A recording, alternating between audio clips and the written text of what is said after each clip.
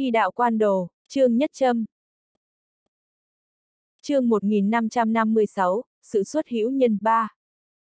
Trương Dương một hơi uống cạn rượu vang trong chén, chép chép miệng. Tiêu Mân Hồng chuẩn bị rót thêm cho hắn thì Trương Dương lắc đầu, tỏ vẻ mình không uống nữa, hắn ngẩng đầu nhìn chung quanh thư phòng rồi nói khẽ căn biệt thự này có thể đứng trong ba hàng đầu những hào trạch mà tôi đã gặp. Tiêu Mân Hồng nói, quan để số một được xây từ 7 năm trước, cả xây dựng và trang hoàng trước sau mất 3 năm, bản ý của chú tôi khi xây căn biệt thự này chính là để tương lai về dưỡng già, nhưng sau khi xây xong, y lại bận bịu công việc, cơ hội sống ở đây rất ít. Trương Dương nói, tôi vẫn chưa bao giờ gặp Tiêu Tổng, nghe nói y là người giàu nhất Bắc Cảng, hiện tại xem ra quả nhiên danh bất hư truyền. Tiêu Mân Hồng nói, chú tôi không phải người Bắc Cảng, y năm đó từng sống ở Bắc Cảng một đoạn thời gian, về sau quen gì tôi, bởi vì gì tôi cho nên cũng có tình cảm với Bắc Cảng như là quê hương của mình. Trương Dương nói, tiêu phu nhân là người Bắc Cảng ư. Tiêu Mân Hồng thở dài nói, 7 năm trước khi xây dựng quan để số 1, chú tôi đã từng nói, sau khi xây xong y sẽ về hưu, cùng gì tôi sống ở đây, nhưng căn nhà này chưa xây xong thì gì tôi bị ung thư, cuối cùng chết ở nước Mỹ, căn nhà này gì ấy chưa được sống một ngày nào. Trương đại quan nhân thầm nghĩ trong lòng, quả nhiên nhà nào cũng có nỗi bất hạnh của nhà nấy, phú quý như tiêu quốc thành cũng không thiếu chuyện không thuận tâm, quan để số một này thì ra là để tặng cho vợ y, chẳng trách tiêu quốc thành rất ít sống ở đây, nhìn vật nhớ người, chắc là sống ở đây thấy không vui. Trương Dương nói, tiêu tổng và tiết lão hình như quen nhau lâu rồi. Tiêu Mân Hồng gật đầu nói, chú tôi là con nuôi của tiết lão, chuyện này rất ít người biết, ông nội bà nội của tôi đều hy sinh trong chiến tranh giải phóng, ông nội của tôi và tiết lão là bạn tốt, ông ta nhận nuôi chú tôi, có thể nói là không có tiết lão thì chú tôi sớm đã chết đói rồi. Trương Dương nói, không phải còn có cha cô ư. Tiêu Mân Hồng nói, y là chú họ của tôi. Khi đó trong nhà điều kiện cuộc sống gian khổ, bản thân mình còn không được ăn nó, muốn chiếu cố người khác thật sự là hữu tâm vô lực. Trương đại quan nhân cuối cùng cũng hiểu rõ được quan hệ trong đây, chẳng trách tiết lão tới Bắc Cảng thì đến thẳng Bạch Đảo, thì ra Tiêu Quốc Thành và ông ta có mối quan hệ này, Tiêu Quốc Thành làm người quả nhiên khiếm tốn, người ta có cha nuôi mạnh như tiết lão, nhưng lại không bô bô ra ngoài, ngẫm lại mình, chuyện Văn Hạo Nam là cha nuôi của mình thì cả thế giới đều biết. Tiêu Mân Hồng nói, anh hỏi tôi cả nửa ngày rồi, hiện tại đến lượt tôi hỏi, anh làm sao mà quen được tiết lão? Audio điện tử võ tấn bền. Trương Dương cười nói, rất đơn giản. Hắn kể lại kinh mình kết bái với Tiết Vĩ Đồng ra cho cô ta, về phần chuyện bởi vì khám bệnh mà kết duyên với Tiết Lão thì tất nhiên là không nhắc đến một chữ. Tiêu Mân Hồng nói, nói như thế chúng ta được coi là có chút quan hệ thân thích. Trương Dương có chút kinh ngạc nhìn cô ta. Tiêu Mân Hồng nói, chú tôi là con nuôi của Tiết Lão, anh là anh nuôi của Vĩ Đồng, nói cách khác, anh nên gọi chú tôi một tiếng là chú nuôi. Trương Đại Quan Nhân cười nói, quan hệ hơi loạn, nói vậy thì cô không phải cũng thành em gái nuôi của tôi ư. Tiêu Mân Hồng nói, tôi lớn hơn anh, Bí Thư Trương, anh năm nay 27 tuổi, tôi đã 30 tuổi rồi. Tiêu Mân Hồng tìm hiểu rất kỹ tư liệu của Trương Dương. Trương Đại Quan Nhân phát hiện Tiêu Mân Hồng này có chút khác biệt, con gái bình thường thì rất kiêng nói tới tuổi tác, cô ta đối với điều này thì rất là thản nhiên, hơn nữa Tiêu Mân Hồng trong chuyện quan hệ của gia tộc thì cũng không giấu giếm chút nào, rốt cuộc là vì Trương Dương đã cứu tính mạng của cô ta hay là tính cách của Tiêu Mân Hồng chính là ngay thẳng như vậy. Trương Dương tối hôm đó nhận lời mời ở lại quan để số 1, hạng thành rời khỏi vào buổi tối, tối hôm đó trước khi đi, Trương Dương tới phòng tiết lão, tiết lão chỉ vào một bức tranh chữ trên bàn, đây là tác phẩm gần đây của tôi, cảm thấy rất hài lòng, cậu xem đi. Trương Dương đi tới, liền thấy trên giấy viết ba chữ Đại Minh Xuân, hắn bất giác bật cười, tiết lão đúng là tiết lão, ngay cả thực hiện lời hứa cũng làm một cách không lưu lại dấu vết như vậy. Ba chữ này là lúc trước hắn cầu tiết lão giúp viết cho nhà máy rượu Giang Thành, tiết lão quả nhiên nói được thì làm được, Trương Dương nói, ba chữ này đại khai đại hợp, rất có phong phạm tông sư. Tiết lão cười nói, thằng nhóc cậu đừng có vỗ mông ngựa nữa, chữ của tôi hồ lộng người ngoài nghề còn được. Nhưng ở trước mặt câu thì chính là múa búa trước cửa lỗ ban. Tôi cũng là hồ lộng người ngoài nghề thôi. Tiết lão cười ha ha, số tiểu tử quanh co lòng vòng nói tôi là người ngoài nghề. Trương Dương vừa cười vừa cất bức tranh chữ đó đi, đi tới trước mặt tiết lão bắt mạch cho ông ta. Tiết lão đưa tay ra cho Trương Dương, Trương Dương đưa một chút chân khí vào trong kinh mạch của tiết lão, nội tức hành tẩu dọc theo kinh mạch của ông ta, tiết lão cảm thấy một cỗ thanh lưu di động trong thân thể, giống như có một con cá nhỏ, thuận theo kinh mạch toàn thân đi khắp nơi, ông ta biết loại chuyện này không thể có phân tâm, vì thế cũng không nói gì nữa. Trương Dương sau khi tỉ mỉ kiểm tra kinh mạch của tiết lão xong mới buông cổ tay ông ta ra, mỉm cười nói, không tồi, không tồi. Tiết lão nghe hắn nói như vậy thì cũng như chút được gánh nặng, thở dài nhẹ nhõm một hơi, nói trước đó tôi đã tới bệnh viện kiểm tra sức khỏe toàn thân một lần, biểu hiện giới hạn ung thư đã mơ hồ rồi, phạm vi trước mắt chỉ còn có hai ly. Trương Dương nói, tôi đã liên hệ với chuyên gia của phương diện này, chúng ta có lẽ phải tới Giang Thành một chuyến. Tiết lão thản nhiên nói, tôi nếu đã tới đây thì tất cả nghe theo an bài của cậu. Trương Dương nói, tôi sẽ lại kê cho ngài một đơn thuốc, củng cố lại một chút, ba ngày sau tôi cùng ngài tới Giang Thành. Tiết lão nói, Thế Luân có thể sẽ tới đây. Trương Dương nói, ngài đã nói chuyện này với chú ấy rồi à? Tiết lão gật đầu, nó tìm bác sĩ chuyên trách của tôi để hỏi, chuyện này cuối cùng cũng không giấu được nó. Trương Dương nói, chú ấy biết cũng tốt, dù sao tiến hành trị liệu thay máu cho ngài cũng có nguy hiểm nhất định. Tiết lão cười nói, cậu đừng lo, tôi đối với cái chết đã rất hờ hững rồi, nếu thật sự không qua được cửa này thì coi như là số mệnh của tôi. Trương Dương nói, tiết lão cũng tin vào số mạng ư. Tiết lão nói, có một số việc sức người không thay đổi được, ví dụ như nói tới sinh mệnh của con người, bất kể một người cường đại như thế nào, cuối cùng cũng có một ngày phải chết. Trương Dương hẹn thời gian trị liệu cho tiết lão vào ba ngày sau, một là lợi dụng ba ngày này để dùng dược vật tăng cường thể chất của ông ta, bồi cố căn nguyên của ông ta, hai là có thể lợi dụng ba ngày này để trải vuốt lại kinh mạch của ông ta. Phương án trị liệu của Trương Dương có chút tương tự với phương pháp bài độc lúc trước cho lệ phù, thanh lý một lượt huyết dịch trong cơ thể của lão gia tử, nhưng điều này tuyệt đối không phải chỉ dựa vào nội lực của hắn là có thể làm được, sau khi hắn thương lượng với Vu Tử Lương. Vu Tử Lương đề xuất, để thay máu cho lão gia tử trong phạm vi lớn, khoa học kỹ thuật y học hiện đại có thể làm được. Cái mà Trương Dương cần làm là khống chế phản ứng bài dị có thể xuất hiện, dùng nội lực để thanh trừ tế bào ung thư còn sót lại trong cơ thể của tiết lão. Những việc này đối với hắn trước đây mà nói thì khẳng định là có nguy hiểm rất lớn, có điều đối với hắn hiện tại có đại thừa quyết thì năng lực thích ứng kinh người, loại năng lực thích ứng này vừa hay có thể khắc chế phát sinh bài xích phản ứng. Tiết lão trong mấy ngày ở Bắc Cảng không có biểu hiện gì khác thường, còn dành thời gian cùng hạng thành đi thăm mấy cảnh đẹp của Bắc Cảng. Người biết bệnh tình của Tiết lão trừ Trương Dương, còn có Tiết Thế Luân, trước một ngày Tiết lão tới Giang Thành trị liệu, Kinh Thành gọi điện bảo Tiết Vĩ Đồng về, sinh ý của cô ta gặp một số vấn đề, thật ra là Tiết Thế Luân dùng một cái cớ để đuổi cô ta đi.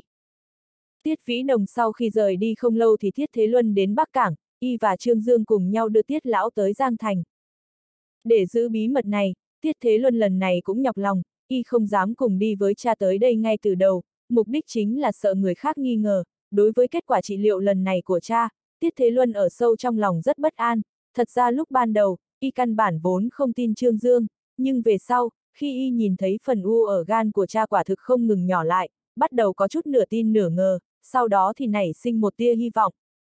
Tiết lão lên xe không lâu thì ngủ, Trương Dương và Tiết Thế Luân ngồi cạnh nhau, trong trí nhớ của hai người, chưa bao giờ tiếp xúc gần gũi như vậy, Tiết Thế Luân đưa cho Trương Dương một chai nước khoáng, y cũng cầm một chai, sau khi mở ra thì uống mấy ngụm.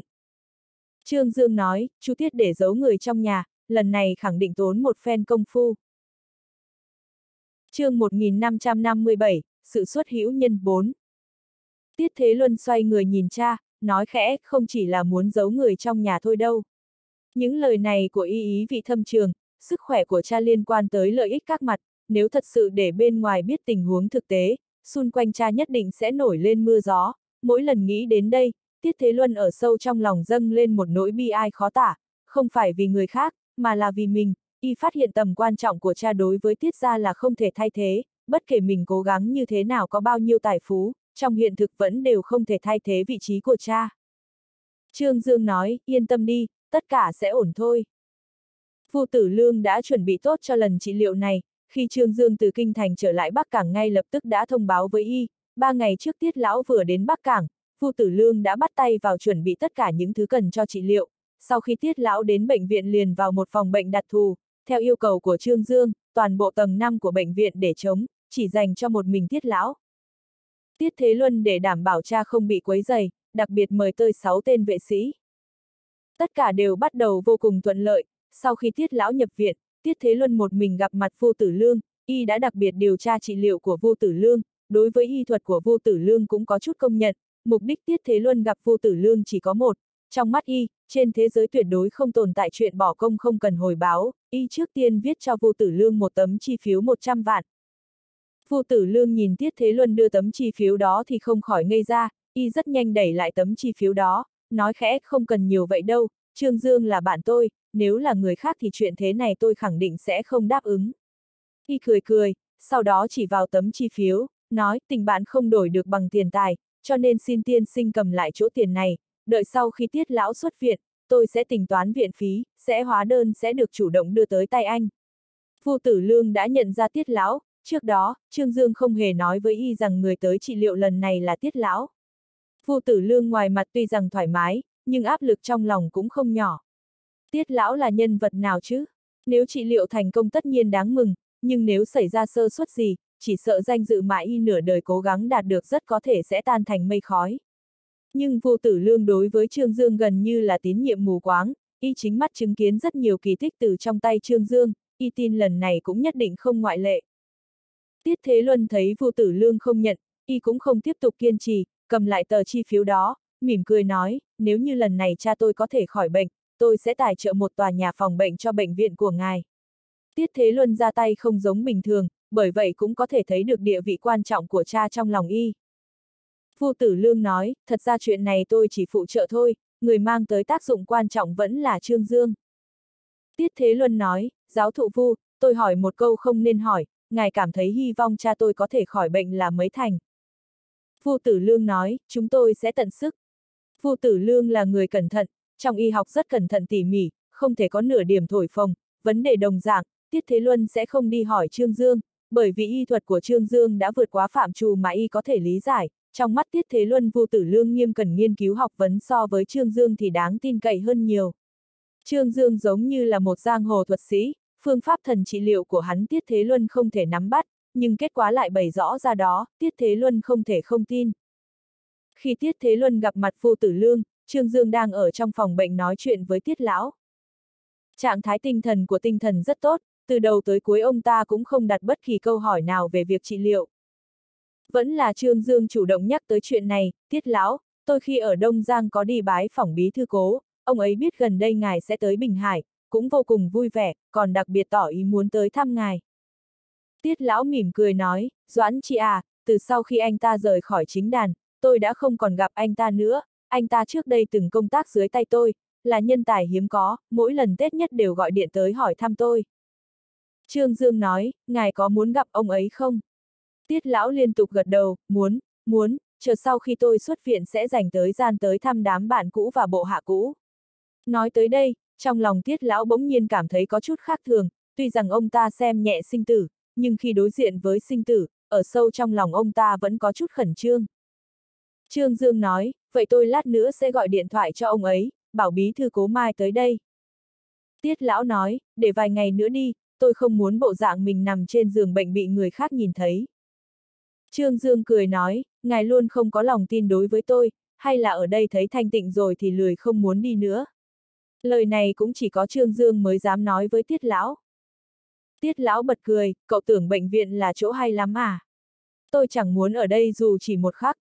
Trương Dương nói, vậy ngày mai sau khi trị liệu xong, ngài đổi nơi khác sống đi, tôi đã an bài cho ngài rồi, chỗ có phong cảnh đẹp nhất ở Giang Thành là biệt thự nhà gỗ ở Hồ Nam. Tuy rằng không xa hoa bằng quan để số một, nhưng cũng nhất định sẽ khiến ngài cảm thấy hài lòng. Tiết lão nói, nghe nói phong cảnh Giang Thành không tồi, tôi còn đặc biệt mang theo máy ảnh, chờ sau khi tôi hồi phục cậu dẫn tôi đi nhé, tôi chụp một ít ảnh mang về làm kỷ niệm. Trương Dương cười nói, hiện tại là lúc núi Thanh Đài đẹp nhất, đảm bảo ngài lên núi Thanh Đài rồi thì khẳng định sẽ lưu luyến không muốn về, vui đến quên cả trời đất. Tiết lão nghe hắn nói khoa trương như vậy, không khỏi bật cười. Tiết Thế Luân xuất hiện ở bên ngoài, nhìn thấy hai người tán gẫu đang hăng say, y không lập tức quấy rầy bọn họ. Tiết lão nhìn thấy y, cười cười vẫy vẫy tay nói, Thế Luân. Tiết Thế Luân đi tới, Trương Dương đứng dậy khách khí chào, chú Tiết. Tiết Thế Luân mỉm cười nói, nói chuyện gì mà vui thế? Tiết lão nói, Trương Dương nói sẽ dẫn cha tới núi Thanh Đài chơi. Tiết Thế Luân mỉm cười nói, tôi cũng đã từng nghe tới danh của núi Thanh Đài, có điều chưa bao giờ tới, chờ sau khi sức khỏe của cha đỡ rồi, con sẽ cùng cha đi một chuyến. Tiết lão gật đầu, nói khẽ, lần này con có thể ở với cha thêm vài ngày không?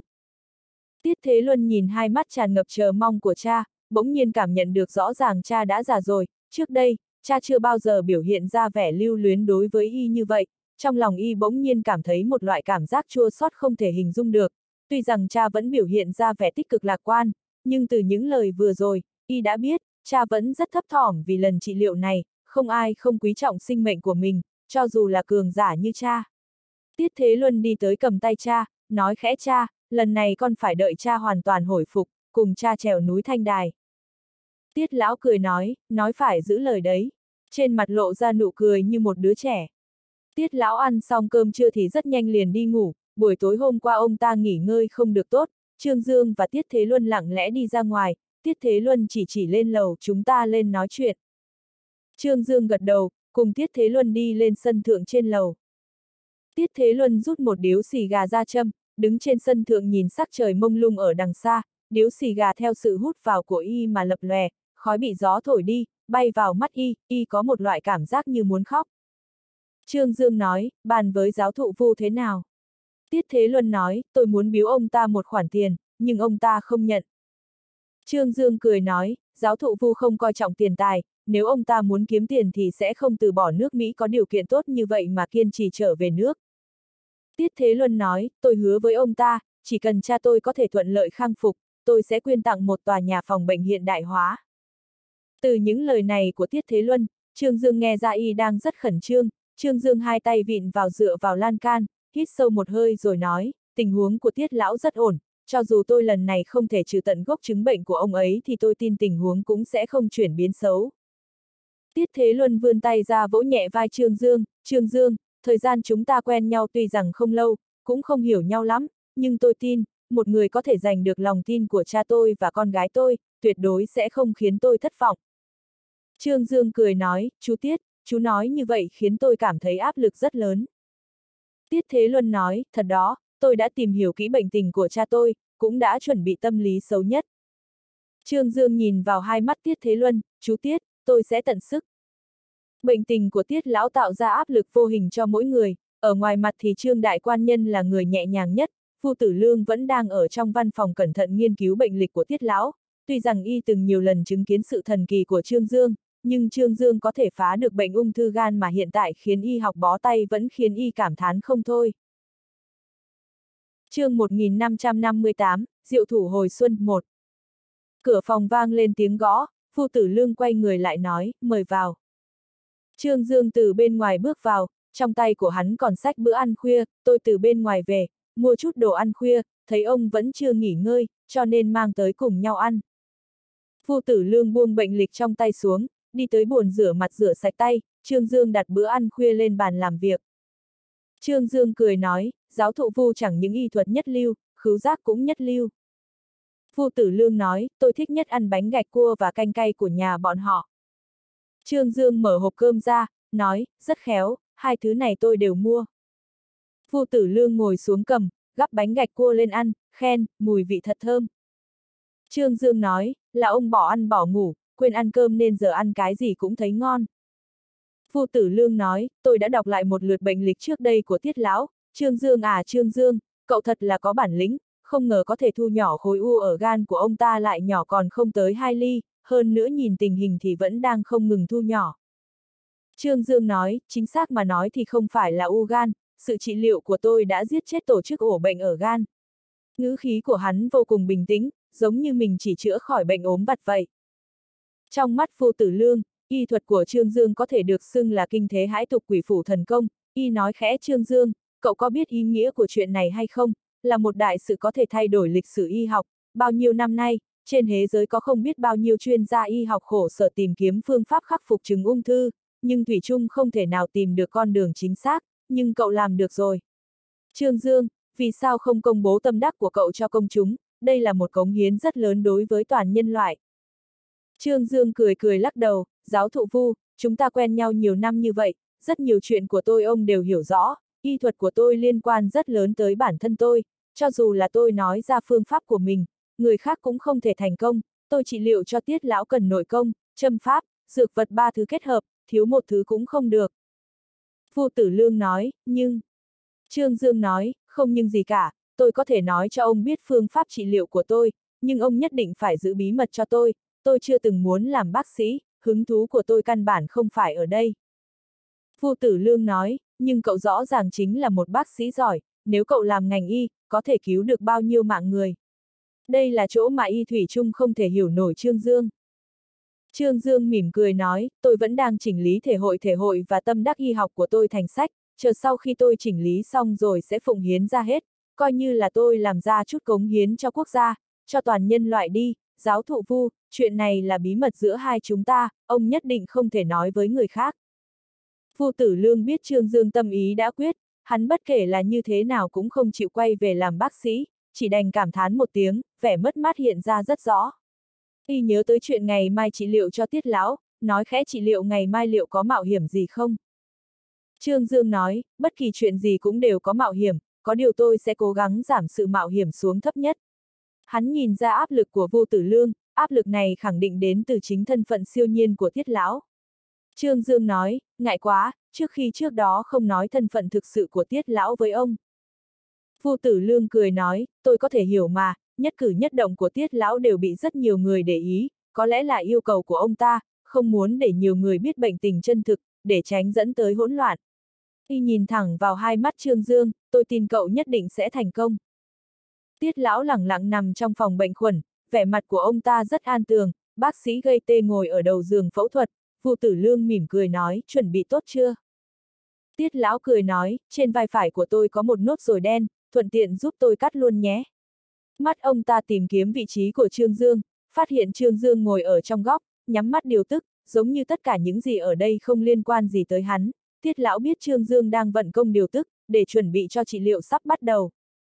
Bác sĩ gây tê bắt đầu thao tác, sau khi tiết lão tiến vào trạng thái hôn mê, Vu Tử Lương tự mình thao tác, lựa chọn hai tĩnh mạch đối xứng bên sườn của tiết lão, một bên lấy máu, một bên truyền máu, loại pháp này mấu chốt là ở chỗ tốc độ lấy máu và tốc độ truyền máu phải bảo trì sự nhất trí một cách nghiêm khắc, tốc độ không thể quá nhanh cũng không thể quá chậm, cứ mỗi 20 đến 30 phút lượng máu hút ra và đưa phải phải đúng 500 hào. Người ta tới tuổi già rồi, khí huyết đều kém, theo cách nói của Tây Y, cơ chế tạo máu của người già đã không ngừng thoái hóa, tiết lão thân mang chứng ung thư, trước khi Trương Dương trị liệu cho ông ta, đã xuất hiện triệu chứng máu lan, thông qua trị liệu thay máu, có thể thay đổi đại bộ phận máu bị cảm nhiễm, giảm nhẹ chứng trạng của thiết lão, phòng bệnh tình chuyển biến xấu và bệnh biến chứng hình thành.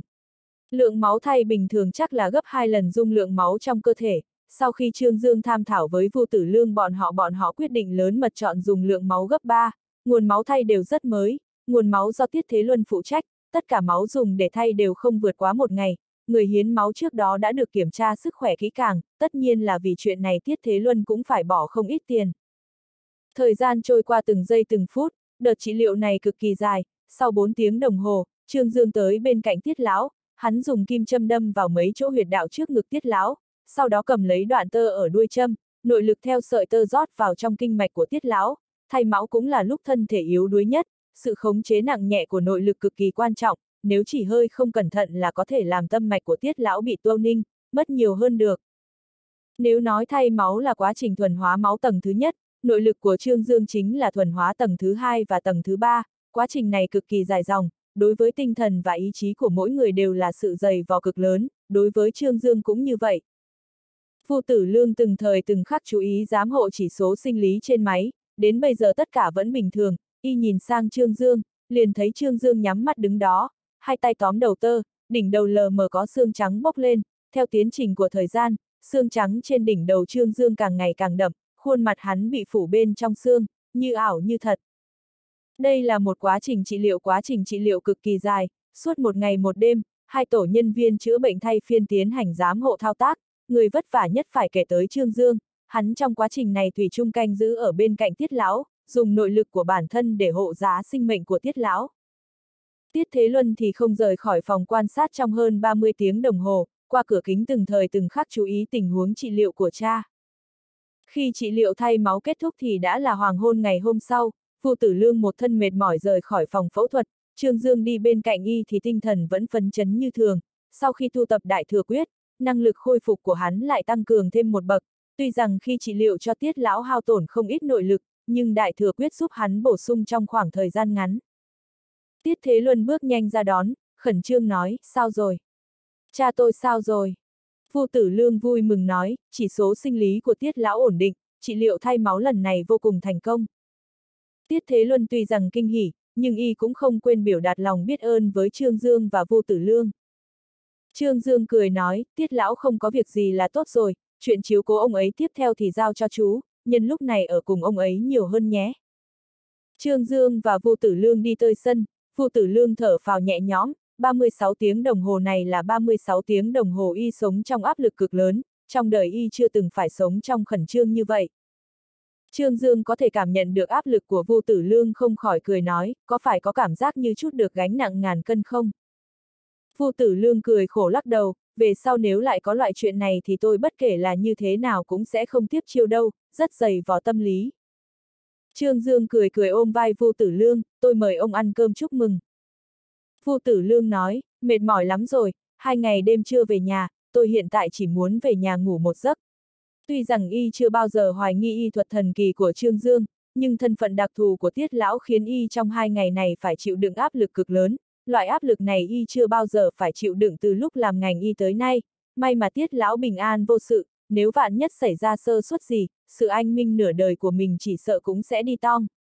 Phu tử lương nhìn Trương Dương vẫn mỉm cười, không thể không bội phục năng lực chịu đựng tâm lý siêu cường của thằng ôn này, tố chất tâm lý của người trong quan trường đúng là không phải tầm thường.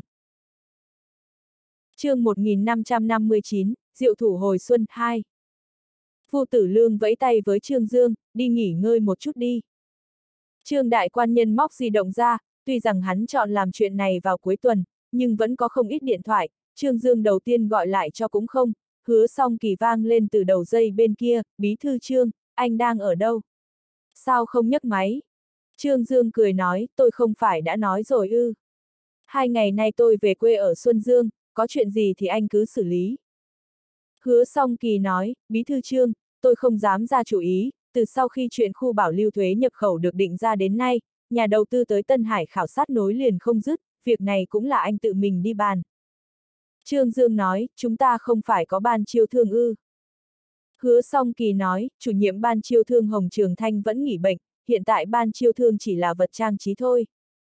Nhớ tới chuyện Hồng Trường Thanh hãm hại mình, Trương Đại Quan Nhân lại thấy ngứa răng, món nợ này nên tính toán với nữ nhân này rồi.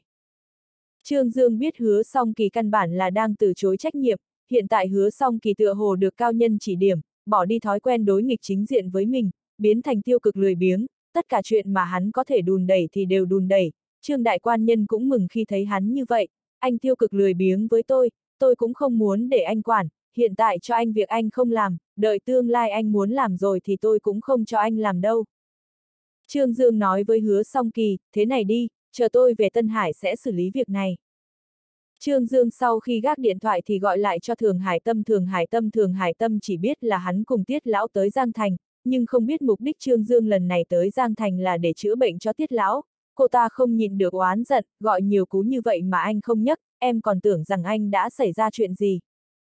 Trương Dương nói, anh thì có thể xảy ra chuyện gì chứ?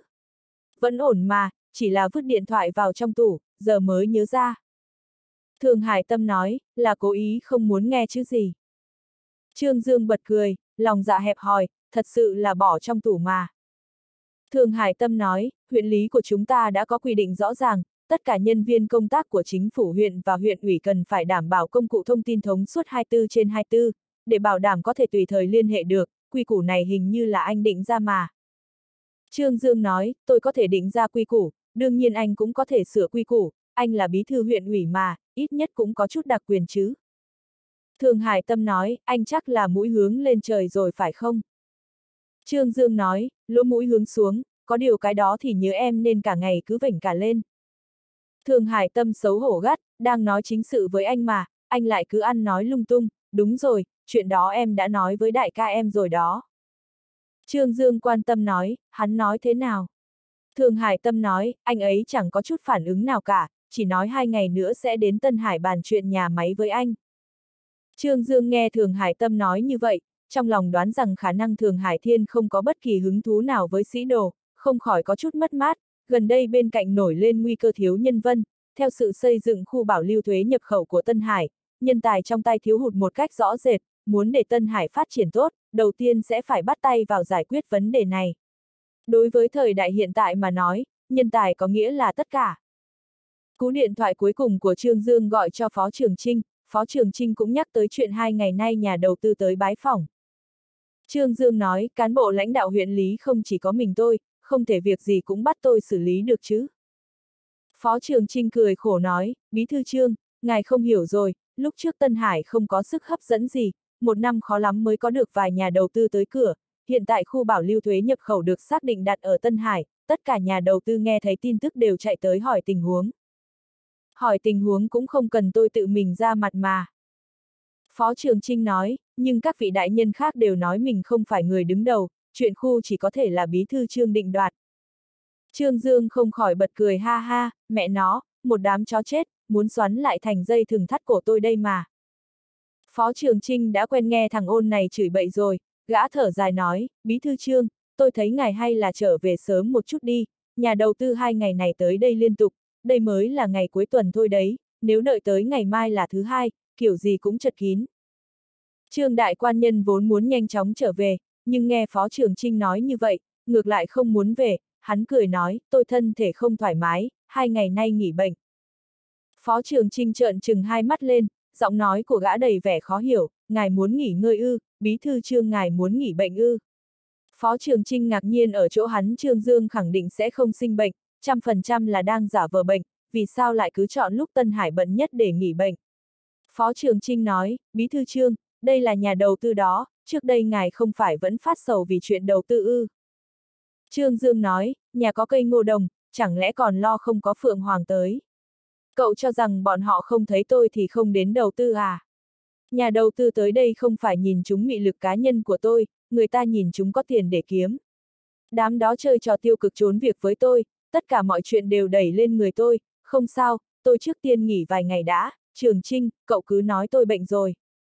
Trương Dương gác điện thoại, lại nhìn thấy Tiết Thế Luân đứng phía sau mỉm cười nhìn mình, y tới đã lâu rồi, bởi vì nhìn thấy Trương Dương gọi điện thoại cho nên không quấy nhiễu hắn. Trương Dương cười nói, chú Tiết. Tiết Thế Luân gật đầu, y vui mừng cười nói, tôi vừa mới đi thăm lão gia tử, tỉnh rồi, trạng thái tinh thần cũng không tệ lắm, giờ thì ngủ rồi. Trương Dương cho rằng y vẫn không yên lòng với tình huống của Tiết Lão, lại tặng một viên thuốc an thần cho y, nói yên tâm đi, Tiết Lão nghỉ ngơi một chút sẽ khỏe thôi. Tiết Thế Luân, nói không lời nào cảm tạ hết được, cậu và Vĩ Nồng là huynh muội kết bái, trong mắt tôi, cậu chẳng khác gì con cái tôi, người nhà thì không cần phải nói lời khách khí mãi. Trương đại quan nhân nghĩ thầm lão tiết chiếm tiện nghi của mình rồi, nhưng cân nhắc một chút, người ta nói cũng đúng. Tiết Thế Luân nói, cùng nhau ăn cơm chiều đi, tôi thấy lão gia tử ngủ chắc không nhanh đâu. Trương Dương nói, chú cũng thức một ngày một đêm rồi, không đi nghỉ ngơi một chút à. Tiết Thế Luân nói, thói quen mà, tôi bình thường mỗi ngày ngủ không quá 5 tiếng đồng hồ. Trương Dương nói, đối diện có nhà hàng xa oa ngư không tồi, chúng ta đi thử. Tiết Thế Luân gật đầu, cùng Trương Dương tới đối diện bệnh viện, y hỏi Vu Tử Lương, Trương Dương nói với y Vu Tử Lương đã về nhà nghỉ ngơi rồi. Tiết Thế Luân thở dài nói, chuyện lần này thật sự tạo áp lực rất lớn cho giáo thụ Vu. Trương Dương cười nói, thật ra tôi cũng có áp lực. Tiết Thế Luân gọi một chai thanh giang đặc cung, Trương Dương cầm lấy bình rượu rót cho y, Tiết Thế Luân cầm chén rượu lên chạm với Trương Dương, nhấp một ngụm rượu rồi nói, thật ra trong lòng tôi hiểu rất rõ, bất kể là ai cũng không tránh khỏi đến lúc phải già đi. Trương Dương gật đầu, uống một ngụm rượu, nhiệt độ của men mang tới một chút ấm áp cho huyết mạch của hắn, thần kinh đang căng ra của Trương Dương cũng dần dần được thả lỏng, tuy rằng hắn ngoài mặt thản nhiên như không, nhưng trong quá trình trị liệu cho tiết lão cũng phải chịu áp lực cực lớn, bất kỳ chuyện gì cũng tồn tại mạo hiểm, trị liệu cho tiết lão thì lại không được phép có sơ suất. Tiết Thế Luân nói, lần này lão gia tử sinh bệnh đã khiến tôi rất xúc động, trước đây tôi bỏ phần lớn tinh lực của mình vào sự nghiệp, ít quan tâm tới người nhà, khi biết bệnh tình của lão gia tử, tôi vô cùng áy náy, nếu không thể cứu được ông ấy, ngày tháng còn lại của tôi sẽ sống trong rằn vặt, cho nên cậu cứu lại tính mạng của lão gia tử, đồng thời cũng cho tôi một cơ hội để bồi thường, cảm ơn. Những lời này của Tiết Thế Luân nói rất cảm động, ánh mắt y rất chân thành tha thiết, không tìm thấy một chút thành phần dối trá nào trong đó. Trương Dương cười nói, chú vừa rồi còn nói chúng ta là người một nhà, không cần phải nói lời khách khí cơ mà. Tiết Thế Luân bật cười, là tôi không đúng, được, không nhắc tới nữa, đúng rồi, mấy ngày nay cậu bận chữa bệnh cho lão gia tử, có phải ảnh hưởng tới công tác không? Trương Dương nói, thật ra trái đất không có tôi thì cũng vẫn quay. Tiết Thế Luân nói, sau khi cậu tới Tân Hải đã mang đến không ít thay đổi cho Tân Hải, khu bảo lưu thuế nhập khẩu đặt ở Tân Hải, đây chính là đại sự oanh động Bình Hải. Trương Dương nói, chú Tiết cũng quan tâm tới chuyện này ư. Chú có hứng thú đến Tân Hải đầu tư không? Tiết Thế Luân mỉm cười lắc đầu, từ khi tôi quyết định theo kinh thương, tôi đã quyết tâm không dính líu gì tới sinh ý trong nước, chỉ là con bé vĩ đồng không chịu nghe lời tôi. Trương Dương nói, vì tị hiểm ư. chương 1560, Diệu Thủ Hồi Xuân 3. Tiết Thế Luân nói, cũng không hẳn vậy, tôi Thủy chung không thích hiện trạng thương trường trong nước, buôn bán và chính trị quan hệ quá chặt chẽ với nhau, dưới dạng này, kiếm tiền thì dễ nhưng gặp chuyện không may cũng dễ, hôm nay Xuân Phong đắc ý, không khéo ngày mai sẽ thành tù nhân. Tiết Thế Luân hiểu rất sâu về nghiệp giới trong nước. Trương Dương nói, chỉ cần giữ khuôn phép thì kinh thương ở trong nước cũng không có vấn đề gì. Tiết Thế Luân mỉm cười nói, nếu ở trong một môi trường quá chú trọng quy tắc, tất nhiên sẽ không có vấn đề, nhưng dưới điều kiện tiên quyết là phổ biến không tuân thủ quy tắc, anh đi theo cái gọi là quy tắc, kết quả tất nhiên sẽ bị đụng vỡ đầu. Tôi có nguyên tắc của tôi, nếu tôi không muốn lựa chọn nước chảy bèo trôi thì tôi chỉ có thể lựa chọn rời xa tất cả những cái này. Trương Dương nhìn Tiết Thế Luân, hắn không hiểu gì về Tiết Thế Luân, những lời chính nghĩa lẫm nhiên này của Tiết Thế Luân hắn cũng không thể tin hoàn toàn, nhưng vẻ mặt chân thật của Tiết Thế Luân thì lại khiến hắn không khỏi tin vài phần. Từ trong lời nói của Tiết Thế Luân Trương Dương nghĩ tới mình, bên trong quan trường chẳng phải đã hình thành quy tắc cố hữu ư, mà mình trong quan trường hiện nay hiển nhiên là một ngoại tộc, hắn không lựa chọn nước chảy bèo trôi, cũng không bị đụng đến đầu rơi máu chảy như lời lời Tiết Thế Luân. Lịch lãm 4 năm trong quan trường, chẳng những không bị người khác quật ngã, ngược lại càng sống càng dễ chịu, từ đó cho thấy lời nói của Tiết Thế Luân chưa chắc đã hoàn toàn đúng. Trương Đại Quan Nhân nói, lá dụng về cội, chú Tiết chưa từng nghĩ tới trở về ư. Tiết Thế Luân thở dài nói, cũng nghĩ tới rồi, bên ngoài có tốt đến mấy thì cũng không phải là quê hương của mình, khi tôi đi đã nói với mình, đợi khi tôi gây dựng được một phen sự nghiệp rồi thì tôi sẽ về, nhưng khi sự nghiệp của tôi thành công rồi mới phát hiện tất cả ở đây đều đã thay đổi. Trương Dương nói, thay đổi thế nào? Tiết Thế Luân nói, có lẽ là quê hương không thay đổi, người thay đổi chính là bản thân tôi, ở nước ngoài, tôi coi mình là một dị khách, nhưng về trong nước, tôi hiện tại không tìm thấy cảm giác quy trúc, đại khái đây chính là sự bi ai của tôi, cũng là cái giá phải trả cho lựa chọn của tôi. Y cầm chén rượu lên nói, cậu có thể hiểu tôi không? Trương Dương nói, hiểu một chút. Tiết Thế Luân cười nói, cậu không có kinh lịch như tôi, cậu không thể hiểu được cảm thụ của tôi đâu. Trương Đại Quan Nhân thầm nghĩ trong lòng, tôi sao không minh bạch. Tôi từ triều đại tùy cô đơn một mình tới năm 90, tôi mới chính là dị loại thực sự, có điều hiện tại tôi cuối cùng cũng tìm lại được cảm giác quy trúc, nếu như ném tôi lại về thời đại tùy, tôi sợ rằng sẽ không thích ứng. Trương Dương nói, chú Tiết, thật ra lời nói mới rồi của chú khiến tôi cảm thấy một chút cộng hưởng, tình cảnh của tôi ở trong quan trường cũng tương tự như vậy. Tiết Thế Luân cười ha ha, nói quan thanh của cậu tôi cũng có nghe nói, có điều thành tích trước mắt của cậu không tồi. Trương Dương nói, vận khí tốt thôi, chú Tiết, tôi nghe nói chú năm đó bỏ chính theo thương à. Tiết Thế Luân gật đầu nói, tôi không ưu tú như cậu, chỉ làm tới cấp phó ban, về sau cảm thấy sức hấp dẫn của thương trường lớn hơn là sĩ đồ. Trương Dương nói, tôi đối với kinh thương thì không có hứng thú gì, luôn cảm thấy sự khiêu chiến trong thương trường không kích thích bằng sĩ đồ. Tiết Thế Luân cười cười với vẻ ý vị thâm trường, y nói khẽ thật ra tôi đối với hiện trạng của quan trường không hài lòng lắm, năm đó chính là xuất phát từ sự thất vọng đối với quan trường cho nên mới lựa chọn rời khỏi. Trương Dương nói, vì sao lại thất vọng? Tiết Thế Luân nói, có một số tệ đoan là tích lũy lâu dài lại mà có, lịch sử lâu đời bao nhiêu thì quan trường cũng lâu đời bấy nhiêu, văn hóa quan trường lắng động lại mấy ngàn năm là số một trong các quốc gia trên ở thế giới, nhưng tệ đoan cũng ùn ùn tích lũy. Y chậm rãi hạ chén rượu xuống, nói cổ kim nội ngoại, sự tham dục của nhân loại đối với quyền lực là không có điểm dừng, nước có thể nâng thuyền, cũng có thể lật thuyền, quyền lực vận dụng thích đáng thì có thể tạo phúc cho xã hội, tạo phúc cho nhân dân, nhưng quyền lực một khi bị lạm dụng sẽ nảy sinh vô số khuyết điểm. Trương Dương cười nói, chú Tiết nhìn quan trường trong nước thấp vậy ư. Tiết Thế Luân nói, tôi Thủy chung cho rằng, quyền lực là một con hổ, muốn nắm chắc phương hướng chính xác nhất định phải có sự giám thị hữu hiệu, thiếu sự giám thị quyền lực, chỉ sẽ bị lạm dụng, rồi sẽ thành một con hổ đói làm nguy hại cho dân chúng. Cậu có biết không, quốc gia bởi vì sự lạm dụng quyền lực mà con số tổn thất và lãng phí hàng năm kinh người đến thế nào không? Trương Dương nói khẽ quả thực là vậy, nhưng loại hiện tượng này không chỉ tồn tại trong nước. Tiết Thế Luân thở dài nói, không nói chuyện quốc sự nữa, tôi chỉ là một thương nhân hy vọng quốc gia của mình trở nên tốt hơn, từ trên người cậu, tôi nhìn thấy một số hy vọng, nếu mỗi một quan viên của chúng ta đều cẩn thận dùng quyền lực trong tay mình, đều đối xử tử tế với nhân dân của mình, vậy thì tôi tin không lâu nữa, nước ta sẽ trở thành cường quốc.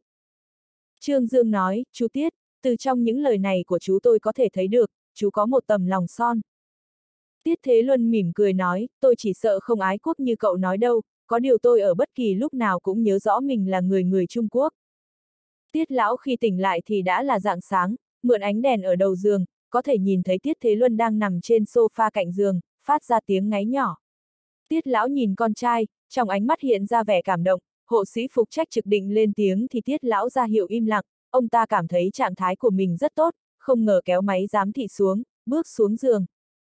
Hộ sĩ vội vàng chạy tới ngăn cản thì Tiết lão cười cười, nói khẽ tôi không sao. Hộ sĩ muốn đỡ ông ta thì Tiết lão xua tay, tỏ vẻ không cần, ông ta đi tới ngồi xuống bên cạnh con trai, nhìn khuôn mặt Tiết Thế Luân một cách nhập thần, ông ta bỗng nhiên phát hiện tóc mai của con trai đã bạc rất nhiều, bỗng dưng nhớ lại quá khứ, nhớ tới năm tháng con trai còn phong nhã hào hoa, Tiết lão cảm thấy có chút chua xót, già rồi, bất kể là ông ta hay là con trai đều không thể chống lại được năm tháng, mấy năm nay ông ta bận bịu chính vụ, lại lơ là với con trai, Tiết lão cầm chăn lên nhẹ nhàng đắp cho Tiết Thế Luân. Động tác rất nhỏ vẫn khiến Tiết Thế Luân tỉnh lại, y mở to mắt, thấy cha đang ở trước mặt, cả kinh nói cha, sao cha lại ngồi dậy. Tiết lão mỉm cười nói, cha không thể nằm trên giường cả đời được. Tiết Thế Luân vội vàng đứng dậy, đỡ cha muốn đưa ông ta lên giường nằm lại, Tiết lão lắc đầu nói, nằm đến nỗi cả người lên men rồi, còn nằm nữa thì không bệnh cũng nằm ra bệnh, cha cảm thấy đỡ nhiều rồi. Tiết Thế Luân nói với hộ sĩ đó, vì sao không gọi tôi dậy? Tiết lão nói, là cha bảo cô ta đừng đánh thức con, mấy ngày nay con chưa được ngủ ngon rồi, cứ ngủ tiếp đi, cha ngồi bên cạnh ngắm con. Tiết Thế Luân cười nói cha, con cũng không phải là trẻ con. Y nhìn đồng hồ rồi ngáp một cái, tối nay uống mấy chén với Trương Dương, không ngờ mơ mơ màng màng ngủ thiếp đi. Tiết lão nói, ngủ đi, đã mấy ngày không được ngủ ngon rồi. Tiết Thế Luân nói cha, con bình thường đa số thời gian đều ở Bắc Mỹ, lệch giờ với giờ trong nước, con không mệt. Y khuyên cha trở lại giường, hộ sĩ lại lắp máy giám thị lên cho lão gia tử, nhìn thấy chỉ số ở các phương diện của tiết lão đều rất bình thường, hai người đều thở phào nhẹ nhõm, tiết thế luân bảo hộ sĩ đi nghỉ ngơi, mình ở đây được rồi. Tiết lão nói, ngày mai cha có thể xuất viện chưa? Tiết thế luân nói, chuyện này con không làm chủ được, phải nghe bác sĩ. Tiết lão nói, Trương Dương đã nói với cha rồi, sau phẫu thuật một ngày là có thể xuất viện. Tiết lão hiển nhiên có chút sốt ruột. Tiết Thế Luân không nhìn được cười nói cha, hiện tại cha quả thực đã tôn thờ Trương Dương rồi. Tiết lão nói, nếu không có hắn, cái mạng già này của cha chỉ sợ đã hết rồi, phóng mắt khắp trong và ngoài nước, còn có bác sĩ nào có bản sự như hắn. Thằng ôn này rất có năng lực. Tiết Thế Luân nói, đúng là một người trẻ tuổi có tài. Tiết lão nói, không biết vì sao. Nhìn thấy hắn, cha luôn không nhìn được mà nhớ tới con lúc còn trẻ, cũng kiệt ngạo bất tuân, tự cao tự đại như vậy. Tiết Thế Luân cười nói, có ư, con cũng có lúc ngông cuồng như hắn ư. Tiết lão nói, từng có. Nói tới đây ông ta tạm dừng một chút, nhìn tóc mai đã bạc của con trai, nói khẽ Thế Luân, con cũng có rất nhiều tóc bạc. Tiết Thế Luân nói, có từ lâu rồi, gần đây không nhuộm tóc cho nên lộ ra. Tiết lão cảm khái, người ta có mạnh đến mấy thì cũng không thể đối kháng với thời gian, ở trước mặt thời gian, tất cả mọi người sẽ bại trận. Tiết Thế Luân nói, cho nên trên thế giới này không ai vĩnh viễn là người thắng, ai cũng sẽ thất bại. Tiết Lão nói, trở về đi. Ông ta nhìn thẳng vào hai mắt con trai, không biết vì sao đôi mắt có chút đỏ lên. Tiết Thế Luân cầm tay cha, nói khẽ cha, con đã đi lâu lắm rồi, đã quên cả đường về nhà rồi. Tiết Lão nói, cha còn sống, còn đi được, cha sẽ đón con, cha có thể tự mình dẫn con về nhà. Cha, con đồng ý với cha chương 1561, anh muốn chạy trốn một. Cho dù đã có nhận thức sâu sắc về y thuật thần hồ kỳ kỹ của Trương Dương, nhưng Vu Tử Lương vẫn bị tốc độ khang phục của Tiết Lão khiến cho kinh hãi. Sau phẫu thuật một ngày, Tiết Lão đã có thể đi bộ như không, án chiếu theo lời Trương Dương mà nói, Tiết Lão đã có thể xuất viện rồi, lần này Vu Tử Lương không nghe theo lời hắn, để cẩn thận, y thương lượng với Tiết Thế Luân, kiểm tra thân thể toàn diện cho Tiết Lão một lần, kết quả kiểm tra hiển nhiên khiến bọn họ hài lòng. Vu Tử Lương cuối cùng cũng đồng ý để Tiết Lão xuất viện. Tiết Lão đề xuất tới núi Thanh Đài tham quan, Trương Dương liên hệ với Lâm Tú, dẫn Tiết Lão và Tiết Thế Luân cùng tới thôn suối nước nóng Cốc Xuân Hy, khi Trương Dương dẫn Tiết Lão tới núi Thanh Đài thì cố Doãn Chi cũng tới Giang Thành, cùng con gái cố dưỡng dưỡng tới thôn suối nước nóng gặp mặt Tiết Lão. Tiết Lão buổi chiều cùng Tiết Thế Luân và Trương Dương hưởng thụ suối nước nóng ở đây, Lâm Tú khá coi trọng lần tới thăm này của Tiết Lão, đặc biệt dùng biệt thự nghỉ dưỡng tốt nhất của thôn để tiếp đãi Tiết Lão. Cố Doãn Chi đến khiến Tiết Lão vô cùng kinh hỉ, ông ta trở về biệt thự suối nước nóng thì gặp được Cố Doãn Chi. Cố Doãn Chi từng công tác 5 năm bên cạnh Tiết Lão, cũng được tính là bộ hạ cũ của Tiết Lão, nhìn thấy Tiết Lão thần thái sáng láng xuất hiện trước mặt mình, Cố Doãn Chi vui vẻ nói, Tiết Lão. Tiết Lão cười ha ha, nói, Doãn Chi à Doãn Chi, tôi còn tưởng rằng anh đã quên lão nhân này rồi. Cố Doãn Chi bước nhanh đến cầm tay Tiết Lão, có chút kích động lắc lắc, Tiết Lão, mấy năm không gặp, phong thái của ngài vẫn như trước, thân thể thì càng khỏe mạnh hơn.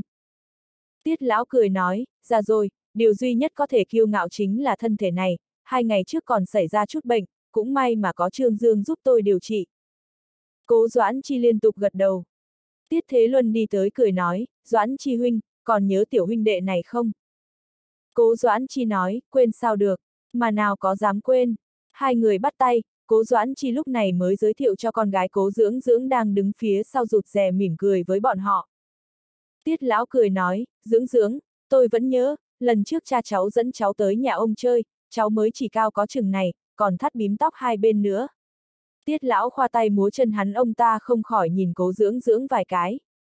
Tiết Lão cũng biết chuyện Cố Dưỡng Dưỡng về sau vì tai nạn xe cộ mà hai chân bị liệt, còn về sau Cố Dưỡng Dưỡng được chữa khỏi một cách thần kỳ thì ông ta cũng có nghe nói, có điều tình hình cụ thể thế nào thì cũng không rõ lắm. Tiết Thế Luân cười nói, dưỡng dưỡng đã trổ mã thành một đại cô nương rồi, nhìn bọn nhỏ lớn lên, quả thực cảm thấy chúng ta già rồi. Tiết Lão cười nói, ở trước mặt tôi mà hai thằng nhóc này không ngờ cũng dám nói già rồi ư. Tiết Thế Luân nói, không dám, không dám. Cố Doãn Chi nói, tôi cũng không dám so sánh với Tiết Lão. Mấy người đồng thời bật cười. Cố Doãn Chi nói, sao không thấy thằng tiểu tử Trương Dương đó nhỉ? Tiết Thế Luân nói, hắn đang ngâm mình trong suối nước nóng. Tiết Lão nói, suối nước nóng nơi này không tồi, Doãn Chi, anh có thể thử một chút, lần này anh nhất định phải ở với chúng tôi vài ngày, chúng ta nói chuyện cho đã. Cố Doãn Chi cười nói, được, dù sao tôi cũng chẳng có việc gì làm, lần này tới nhất định phải tiếp Tiết Lão ôn lại chuyên xưa. Trương Đại Quan Nhân nhắm mắt lại, thích ý nằm trong bồn suối nước nóng ngư liệu của Thổ Nhĩ Kỳ, hưởng thụ những con cá nhỏ bơi đi bơi lại trên người, cảm giác tê tê vô cùng thoải mái. Bỗng nhiên nghe thấy bên cạnh có tiếng nước vang lên, hiển nhiên người đang bước vào trong bồn suối nước nóng. Trương Dương mở mắt ra, xuyên qua hơi nước mờ mờ, nhìn thấy một thân thể mềm mại mạn diệu tuyệt luân, mặt của cô gái đó có vẻ mông lung, biểu tình tràn ngập thẹn thùng, mặc áo tắm màu lam, tuy rằng áo tắm kiểu bảo thủ, nhưng nước suối vẫn khiến những đường cong của cô ta lộ rõ ra. Không phải cô em vợ cố dưỡng dưỡng thì còn có thể là ai? Cố dưỡng dưỡng có chút thẹn thùng ngâm mình vào nước, nói khẽ Trương Dương, anh sao nhìn em như vậy? Trương đại quan nhân lúc này mới ý thức được ánh mắt lúc này của mình thật sự có chút quá mức nóng bỏng, hơn nữa bộ phận phía dưới của hắn không ngờ còn có phản ứng. Trương đại quan nhân mắng thầm mình vô sỉ, đây là dưỡng dưỡng, em gái của giai đồng, con gái của bí thư cố, mình nói gì cũng không thể sinh ra những ý đồ không an phận với cô ta được. Trương Dương ho khan một tiếng, tuyệt đối là ho khan, mục đích là để hóa giải sự xấu hổ của bản thân, sau đó cười nói, đến nhanh thế. Cố dưỡng dưỡng nói, cha em lâu rồi không gặp Tiết Gia Gia, về sau khi anh thông chi cho ông ấy, ông ấy tới Giang Thành ngay. Trương Dương nói, em không phải đi vẽ vật thực ư.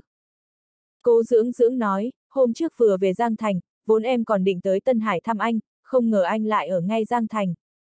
Trương Dương lại ho khan một tiếng, từ trong lời nói của cố dưỡng dưỡng, hắn đương nhiên có thể nghe ra sự quan tâm của cô ta đối với mình. Thôn suối nước nóng gần đây cũng không nhiều du khách, khu suối nước nóng lớn như vậy nhưng căn bản cũng không có mấy người, Trương Dương và cố dưỡng dưỡng ngâm mình chung trong suối thì không khí ít nhiều có chút ám muội. Mặt cố dưỡng dưỡng không biết vì sao lại đỏ lên. Trương đại quan nhân thuận theo ánh mắt của cô ta mà nhìn, liền thấy một đàn cá nhỏ tụ ở giữa hai chân mình, từ xa xa nhìn lại giống như giữa hai chân mọc ra một đống lông, trương đại quan nhân xấu hổ quá, vội vàng xua đàn cá đi, đứng dậy nói, nước hơi lạnh rồi, anh ra bên kia ngâm. Trương Dương đi tới suối nhân sâm, cố dưỡng dưỡng cũng khoác khăn tắm đi theo hắn.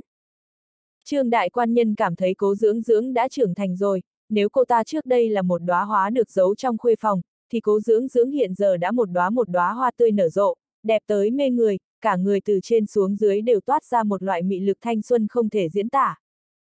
Trương Dương và cố dưỡng dưỡng một người ở bên bên này, một người ở bể đối diện, từ xa nhìn nhau, hơi nước khiến bọn họ nhìn thấy đối phương có chút mơ hồ.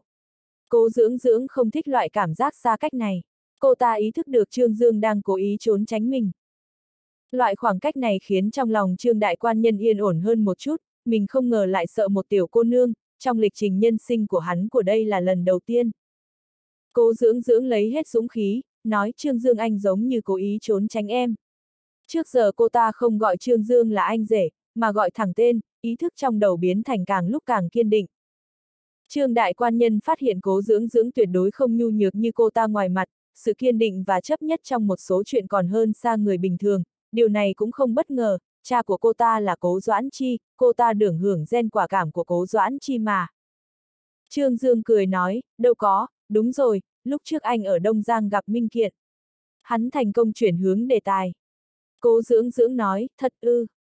Trương Dương gật đầu nói, hắn còn mời anh ăn cơm, không ngờ phải không? Cố dưỡng dưỡng nói, anh có thấy anh em thay đổi rất nhiều không? Trương Dương nói, hình như so với trước đây thì chính chắn hơn một chút, nhưng hắn trước đây làm quá nhiều việc xấu, anh vẫn thấy không yên tâm vì hắn. Cố dưỡng dưỡng nói, cha em căn bản không cho anh ấy cơ hội.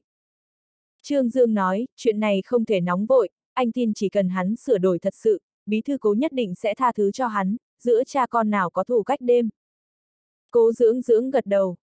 Trương Dương nói, hắn có nói với em rằng lúc anh ở Đông Giang gặp một nữ nhân Nhật Bản tên là Nguyên Hòa Hạnh Tử, bộ dạng của cô ta giống hệt chị em không? Cố dưỡng dưỡng cả kinh nói, thật ư, cô ta hiển nhiên hoàn toàn không biết gì về chuyện này. Trương Dương gật đầu nói, anh đã điều tra rõ ràng rồi, Nguyên Hòa Hạnh Tử này và người anh gặp ở cung cảnh Phúc tại Hán Thành là một người, bộ dạng của cô ta cơ hồ không có khác biệt gì với giai đồng. Cố dưỡng dưỡng nói, em không tin, trên thế giới thực sự có hai người giống nhau vậy ư. Huống chi chị của em là người Trung Quốc, cô ta là người Nhật Bản. Trương Dương nói, anh thậm chí cũng có chút hoài nghi, Giai Đồng có phải là chị em sinh đôi với cô ta hay không? Cố dưỡng dưỡng nói, không, em chưa bao giờ nghe cha em đề cập tới chuyện này cả. Trương Dương nói, chuyện này tốt nhất đừng nói với ông ấy, khó khăn lắm ông ấy mới nguôi ngoài chuyện của Giai Đồng, nếu nhắc lại chuyện này, khẳng định sẽ kích thích không nhỏ đối với ông ấy, đây cũng là ý kiến nhất trí của anh và Minh Kiện. Cố dưỡng dưỡng nói, em nghe lời anh. Trương đại quan nhân có chút đau đầu với sự nhu thuận của cố dưỡng dưỡng, tình cảm của cố dưỡng dưỡng đối với hắn tồn tại đã lâu, từ sau khi hắn giúp cố dưỡng dưỡng trị khỏi hai chân, khôi phục cuộc sống bình thường, hắn cũng đã trở thành anh hùng trong cảm nhận của cố dưỡng dưỡng, từ lúc cố giai đồng còn sống, đã nhìn ra tình cảm của dưỡng dưỡng đối với Trương Dương không giống bình thường, thậm chí coi Trương Dương là tình nhân trong mộng, từng nhắc nhở Trương Dương, nhất định phải xử lý tốt quan hệ với dưỡng dưỡng. Đây cũng là nguyên nhân chân chính Trương Dương trốn tránh cố dưỡng dưỡng chương 1562, anh muốn chạy trốn hai.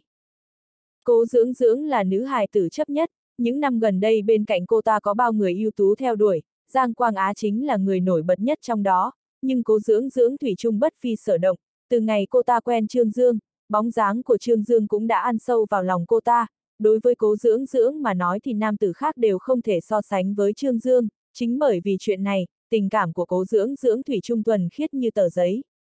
Cô ta cũng biết Trương Dương hiện giờ đã có vợ chưa cưới, nhưng cô ta vẫn không thể khống chế được mình, đối với Trương Dương cô ta là toàn tâm toàn ý. Cố dưỡng dưỡng đương nhiên có thể nhìn ra Trương Dương đang trốn tránh mình, thái độ của Trương Dương khiến cô ta có chút thương tâm, nhưng lại không đủ để khiến cô ta từ bỏ tình yêu trong lòng. Trương Dương nói, anh đi chào hỏi cha em đây, ngâm cả sáng rồi, ngâm nữa thì sợ chóc ra mất. Hắn đứng dậy rời khỏi suối nước nóng, mặc áo tắm vội vàng bỏ đi. Cố dưỡng dưỡng nhìn bóng dáng của Trương Dương, nhẹ giọng thở dài, tựa chán lên bờ suối, nhắm mắt lại, trong đầu đột nhiên hiện lên khuôn mặt của chị gái, trong cô ta thầm nói, chị, em thật sự là hâm mộ chị, tuy chị ra đi lâu như vậy rồi, nhưng Trương Dương Thủy Trung vẫn đặt chị ở trong lòng, không quên một khắc nào, em nguyên ý thay chị chiếu cố anh ấy, yêu thương anh ấy. Nghĩ đến đây mắt cố dưỡng dưỡng bất giác nóng lên, một giọt lệ chậm rãi chảy xuống. Trương đại quan nhân đi chào hỏi cố Doãn Chi, thằng ôn này thậm chí ngay cả cơm cũng không dám ở lại ăn, lấy cớ trong nhà có việc, phải lập tức chạy về. Trừ cố dưỡng dưỡng ra, những người khác đều không đoán được nguyên nhân chân chính mà Trương Dương rời khỏi, rời khỏi sơn trang suối nước nóng, Trương Dương không trở về nhà ở thị trấn Xuân Dương, mẹ đang ở Đông Giang, nhà này đối với hắn mà nói thì tất nhiên cũng không có sức hấp dẫn lớn như vậy. Hắn bỗng nhiên nhớ tới Trần Sùng Sơn và lão đạo sĩ Lý Tín Nghĩa, kể ra mình rất lâu rồi chưa lên núi thăm họ, quyết định tới núi Thanh Vân thăm hai vị tiền bối. Hiện tại du khách của núi Thanh Đài so với trước đây thì nhiều hơn rất nhiều, ở gần Thác Bản Long còn xây dựng làng du lịch, Trương Dương trên đường tới núi Thanh Vân gặp không ít du khách xuống núi, cho tới tận dưới núi Thanh Vân, nhìn thấy phía trước có tấm biển phía trước đang thi công, xin du khách dừng bước. Trương Dương nảy qua dây chắn rồi tiếp tục đi tới, đi được vài bước thì bị một người gọi lại, ê, làm gì thế? Trương Dương ngẩng đầu lên tôi nhìn thấy một lão già đang hút thuốc bước về phía hắn, không ngờ là lão bí thư tri bộ thôn Thanh Thả Thượng Lưu Truyền Khôi. Lưu Truyền Khôi cũng không ngờ là Trương Dương, kinh hỉ vạn phần nói Trương Dương. Trương Dương cười nói, lão bí thư tri bộ, ngài sao lại ở đây? Hắn nhớ rõ thông qua sự giới thiệu của mình, Lưu Truyền Khôi đã tới làng du lịch suối nước nóng làm cố vấn an ninh, sao lại xuất hiện ở đây? Lưu Truyền Khôi cười nói, bên thôn suối nước nóng tôi không làm nữa, vì chả phải làm gì, cả ngày cầm tiền của người ta, tôi trong lòng thấy không hay, về thôn tổ chức đội thi công, dẫn mấy thằng nhóc trong thôn nhận thầu công trình tu bộ đường cảnh khu, hai ngày trước mưa to đem đường núi ở đỉnh Thanh Vân có nhiều chỗ bị hỏng. Giờ tôi đang dẫn họ đi sửa, thuận tiện quản lý con đường này để tránh có du khách lên núi gặp. Cậu đi đâu đấy? Trương Dương bảo hắn muốn tới đỉnh Thanh Vân thăm Trần Sùng Sơn, Lưu Truyền Khôi nói, đường không dễ đi đâu, đường phía trước bị chặn rồi, phải đi vòng, hay là tôi dẫn cậu qua. Trương Dương không muốn làm phiền ông ta, nhưng nhìn thấy Lưu Truyền Khôi nhiệt tình như vậy thì cũng ngại cự tuyệt, lập tức gật đầu nói, vậy phiền toái bí thư chi bộ Lưu rồi. Lưu Truyền Khôi bảo thủ hạ một tiếng rồi dẫn Trương Dương đi lên đỉnh Thanh Vân, đi được không xa thì quả nhiên nhìn thấy ở khe lang kiêu cầu bị gãy, cũng may mắn là Trương Dương gặp được Lưu Truyền Khôi, bằng không hắn cũng không biết làm thế nào để vòng tới đỉnh Thanh Vân. Lưu Truyền Khôi dẫn hắn đi vòng qua sơn đạo ba dặm, bí thư tri bộ vừa đi trên đường vừa hái không ít nấm, vào lúc hái nấm, lão bí thư tri bộ cũng không quên thuận tay nhặt giấy rác và bình nhựa dưới đất, ông ta cảm thán nói cảm thán nói. Từ sau khi núi Thanh Đài khai phá, thu nhập của thôn dân so với trước kia thì tăng cao hơn, nhưng ngọn núi này cảm thấy không còn minh tú như trước kia, nếu có thể lựa chọn tôi tình nguyện trở lại như lúc trước. Trương Dương từ trong cảm thán của bí thư tri bộ ngộ được gì đó, hắn thuận tay giúp nhặt rác, lưu truyền khôi mang theo hai cái túi, một cái dùng để đựng nấm, một cái dùng để đựng rác. Trương Dương nói, thị trường du lịch phát triển, tố chất của du khách cũng tốt xấu lẫn lộn, ở giai đoạn mới bắt đầu có sự thiếu sót hoặc này hoặc kia cũng là điều khó tránh khỏi. Đi vào đỉnh Thanh Vân, bên này vẫn chưa hoàn toàn mở cửa ra ngoài, hơn nữa gần đây đường bị hủy, du khách rất ít đến đây nên rác rưởi tất nhiên cũng ít đi nhiều. Lưu truyền khôi đứng thẳng người lên chỉ vào cơ sở điện ảnh phía trước, phía cơ sở điện ảnh đã đóng cửa một năm rồi. Trương Dương nói, sai vậy, không phải là trước giờ luôn rất náo nhiệt ư. Lưu truyền khôi nói, hai năm trước quả thực có một thời gian náo nhiệt, nhưng nghe nói phía cảng đài không lưu hành phim võ hiệp nữa, những bối cảnh giả cổ này tất nhiên là không cần sử dụng đến, tác nghiệt mà, đầu tư nhiều tiền như vậy, hiện tại lại thành một tòa thành trống, ngay cả bóng quỷ cũng không thấy. Trương đại quan nhân có chút xấu hổ, dù sao cơ sở điện ảnh này năm đó cũng là do hắn dẫn đầu lập lên. Trương Dương tới Thanh Vân Trúc Hải bái tế lão tiên sinh An Chí Viễn cũng thuận tiện đi qua cơ sở điện ảnh, thấy cửa đóng chặt, bên trong quả nhiên ngay cả một bóng người cũng không thấy. Lưu truyền khôi nói, huyện lý nói rõ sẽ khai phá nơi này thành làng du lịch, ha ha, tôi không cũng không coi trọng lắm, lúc trước không làm du lịch, chẳng ai biết cái gì gọi là làng du lịch cả, hiện tại du lịch rộ lên, cơ hồ mỗi thân đều xây dựng làng du lịch, cái khác không nói, chỉ một đường từ thôn Thanh Hà đến đỉnh Thanh Vân, làng du lịch to nhỏ mọc lên như nấm, phải có tới hơn 40 cái, lúc mới đầu tôi cảm thấy đây là chuyện tốt, nhưng hiện tại thấy tiền kiếm được rồi, nhưng đem gia nghiệp của tổ tông cho người khác giày xéo. Mỗi lần nhìn thấy trên sườn núi mọc lên nhiều phòng như vậy, tôi tức giận chỉ muốn chửi ầm lên, thấy cứ chỗ có người là đầy rác, tôi con mẹ nó hận không thể nhặt lên nhét vào mồm chúng, có ai lại tới nhà người ta làm khách lại xả đầy rác vậy không? Từ những lời bực tức này của lưu truyền Khôi Trương Dương biết rằng, tiến triển khai phá du lịch núi Thanh Đài tuy rằng không chậm, nhưng trên quản lý du lịch rất không có quy phạm, điều này đã tạo thành rất nhiều tệ đoan và thiếu sót. Thân là người sinh ra ở gần núi Thanh Đài, Lưu Truyền Khôi nhìn thấy hiện trạng trước mắt thì tất nhiên cảm thấy đau lòng, ông ta có cảm tình với núi sống, lúc núi Thanh Đài mới khai phá, ông ta quả thực bởi vì khai phá du lịch mà mang đến hiệu quả kinh tế cho người dân nên mừng rỡ không thôi. Nhưng sau sự vui vẻ lúc ban đầu, ông ta bắt đầu phát hiện cố thổ của mình đang không ngừng thay đổi, gia viên của mình đang bị một số khách du lịch văn minh trà đạp, sự bi ai và phẫn nộ của lưu truyền khôi đại biểu cho một bộ phận tâm lý của người ra núi Thanh Đài, người trẻ tuổi hiện tại rất ít nghĩ được như vậy. Lưu truyền khôi nhắc tới lưu đại trụ con y, lưu đại trụ ở Giang Thành mở quán thịt dê kiếm được một ít tiền, hiện giờ cũng trở lại núi Thanh Đài mở một nông gia nhạc, bởi vì tài nấu bếp của hắn không tồi, hiện tại cũng dựng nên được biểu hiện lưu thị toàn dê, sinh ý hỏa bạo, đã thành một chiêu bài vàng của ẩm thực dân tục núi Thanh Đài, lưu truyền khôi không nhịn được mắng, thằng khốn nạn này hiện tại có tiền rồi thì không để cha nó vào mắt nữa. Trương Dương không khỏi bật cười ha ha, lưu truyền khôi trước đây là bí thư tri bộ thôn đảng thôn Thanh Hà Thượng, lúc tại nhiệm nói 102, con trai ông ta lưu đại trụ sợ ông già như sợ hổ, hiện tại lưu truyền khôi về hưu rồi, lưu đại trụ lại có tiền, tất nhiên lúc nói chuyện thì cũng vững dạ hơn. Lưu truyền khôi nhìn thấy nhìn hắn cười mình, phụng phịu nói cậu cười cái gì? Trương đại quan nhân cười ha ha, nói, bí thư tri bộ lưu, không phục già không được, trường giang sóng sau đẻ sóng trước.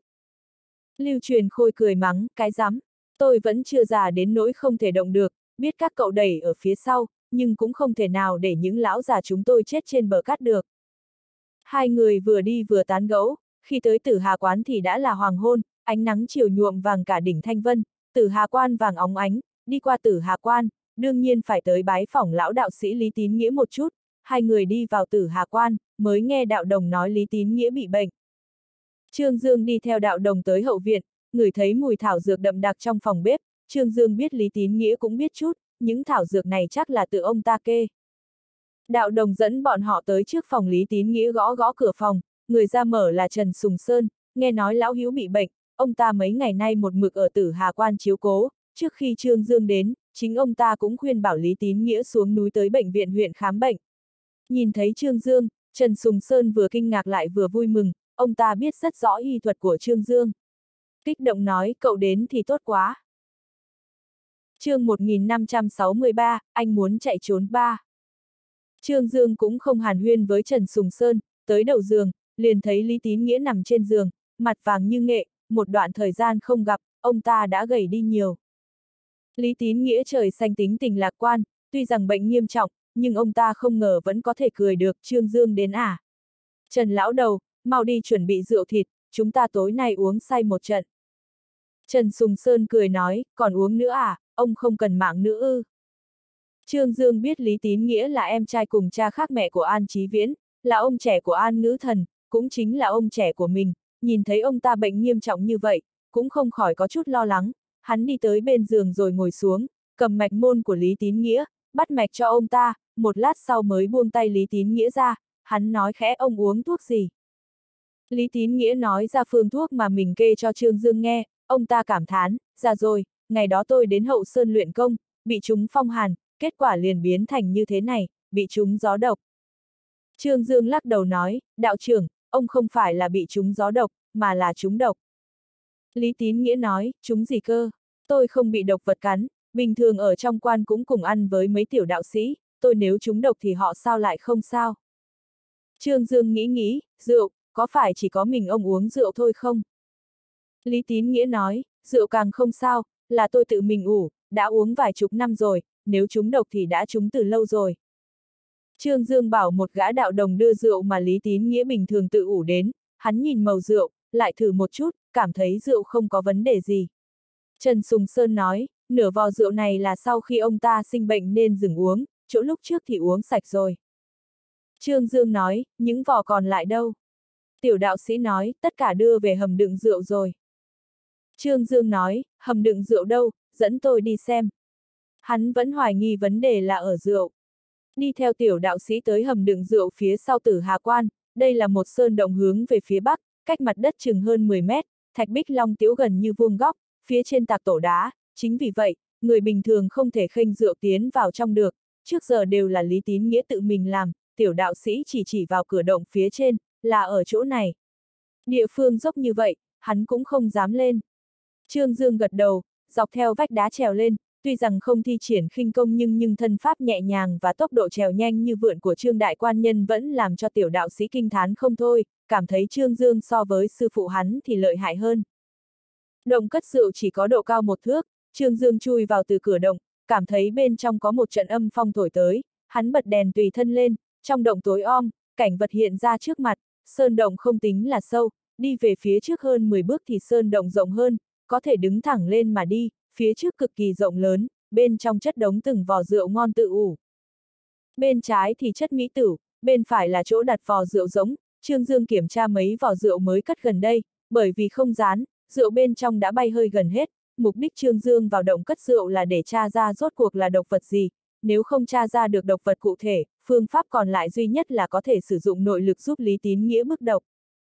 Trương Dương cầm vò rượu không nhìn nhìn, vẫn không nhìn ra dị trạng gì, hắn lại đi sang bên phải, cầm một vò lên, mượn ánh sáng le lói, nhìn thấy trên giấy dán vỏ rượu có rất nhiều khe hở, cái này cũng không có gì đặc biệt, giấy dán qua năm tháng rất có thể phát sinh loại hiện tượng này. Trương Dương vừa đặt vò rượu không xuống thì lưu ý thấy trên vò rượu có mấy con kiến bỏ qua, Trương Dương nhíu mày, theo lý mà nói thì kiến núi không độc, nhưng những con kiến này rõ ràng đã cắn thủng giấy dán, Trương Dương nhìn thấy kiến bỏ xuống đất. Chỗ chúng tụ lại có một con rết to bằng ngón cái, con rết đó rất nhiều màu, nằm trên mặt đất không nhúc nhích, hiển nhiên đã chết từ lâu rồi. Trương Dương dùng đèn chiếu lên con rết, nhìn ra con rết đã bị đàn kiến ăn một nửa, từ bộ phận còn lại có thể nhìn ra độc tính của con rết rất mạnh. Trên độc kinh từng có ghi lại, loại rết này tên là thất thải ngô công, độc vật thường thường càng sặc sỡ thì độc tính càng mạnh. Trương Dương từ đó đoán ra, nhất định là những con kiến này ăn rết, bị lây độc tính của rết, mà loại độc tính này lại vừa hay vô hại đối với kiến, kiến cắn thủng, có không ít kiến chết trong vò rượu, độc tố cũng theo đó hòa vào rượu của Lý Tín Nghĩa, đương nhiên vò rượu bị dính độc vẫn là số ít, nếu không Lý Tín Nghĩa cũng sẽ không uống nhiều năm như vậy mà cho tới bây giờ mới gặp chuyện không may. Trương Dương điều tra rõ nguyên nhân chân chính, cũng không ở lại động cất rượu, men theo đường cũ quay lại đạo quán. Tất cả mọi người đang chờ đợi kết quả điều tra của Trương Dương, Trương Dương kể lại những gì mình chứng kiến. Lý Tín Nghĩa không khỏi cảm thán nói, tôi thật sự là không ngờ bị đám trùng này làm hại. Trương Dương nói, về sau rượu trong sơn động không thể uống nữa, lát nữa mang đuốc tới đốt chỗ rượu đi, vừa hay có thể thiêu chết toàn bộ độc trùng trong đó.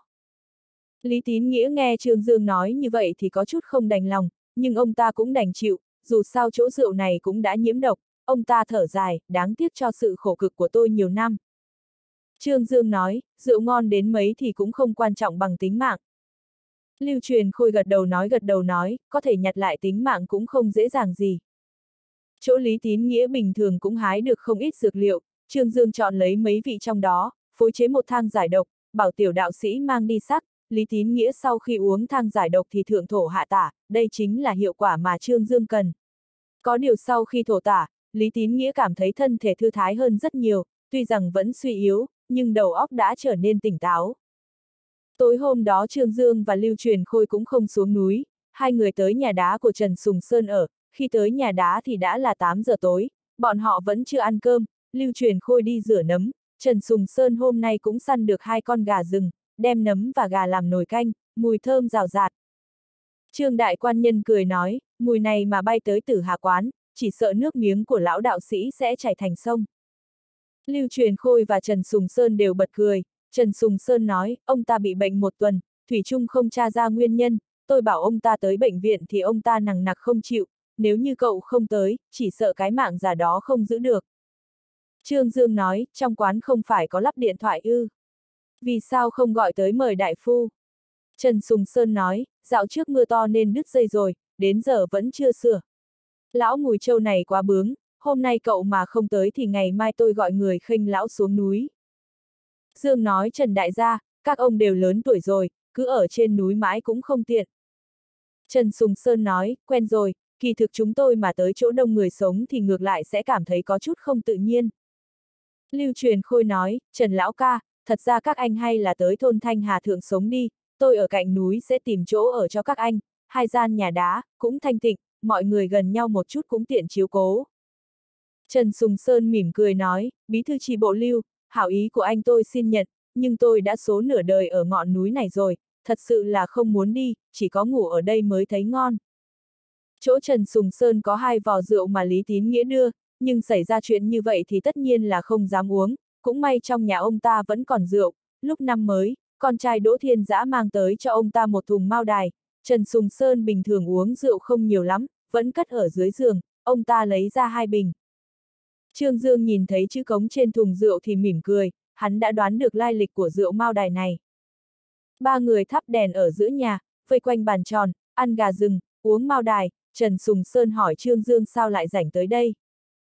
Trương Dương nói, tôi phát hiện gốc của mình chính ở núi Thanh Đài, bất kể là đi đâu cũng không cảm thấy thoải mái như nơi này. Chỉ có về đây, tôi mới có thể cảm thấy tâm tình của mình bình thản, quên đi sự xô bổ của thế tục. Lưu truyền khôi cười nói, đây là đặc điểm của người trong núi, đi đến đâu cũng không quên được ngọn núi này. Trần Sùng Sơn nói, công tác vẫn thuận lợi chứ? Trương Dương gật đầu nói, thuận lợi. Hắn nhắc tới lúc trước tới Kinh Thành gặp Trần Tuyết.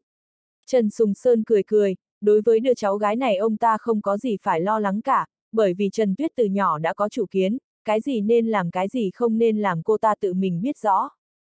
Lưu truyền khôi nói, con bé Trần Tuyết đó xin sắn thật, Trần Lão ca, không biết nó đã có người yêu chưa? Trần Sùng Sơn lắc đầu nói, nó chỉ lo học hành, tới giờ vẫn chưa có bạn trai.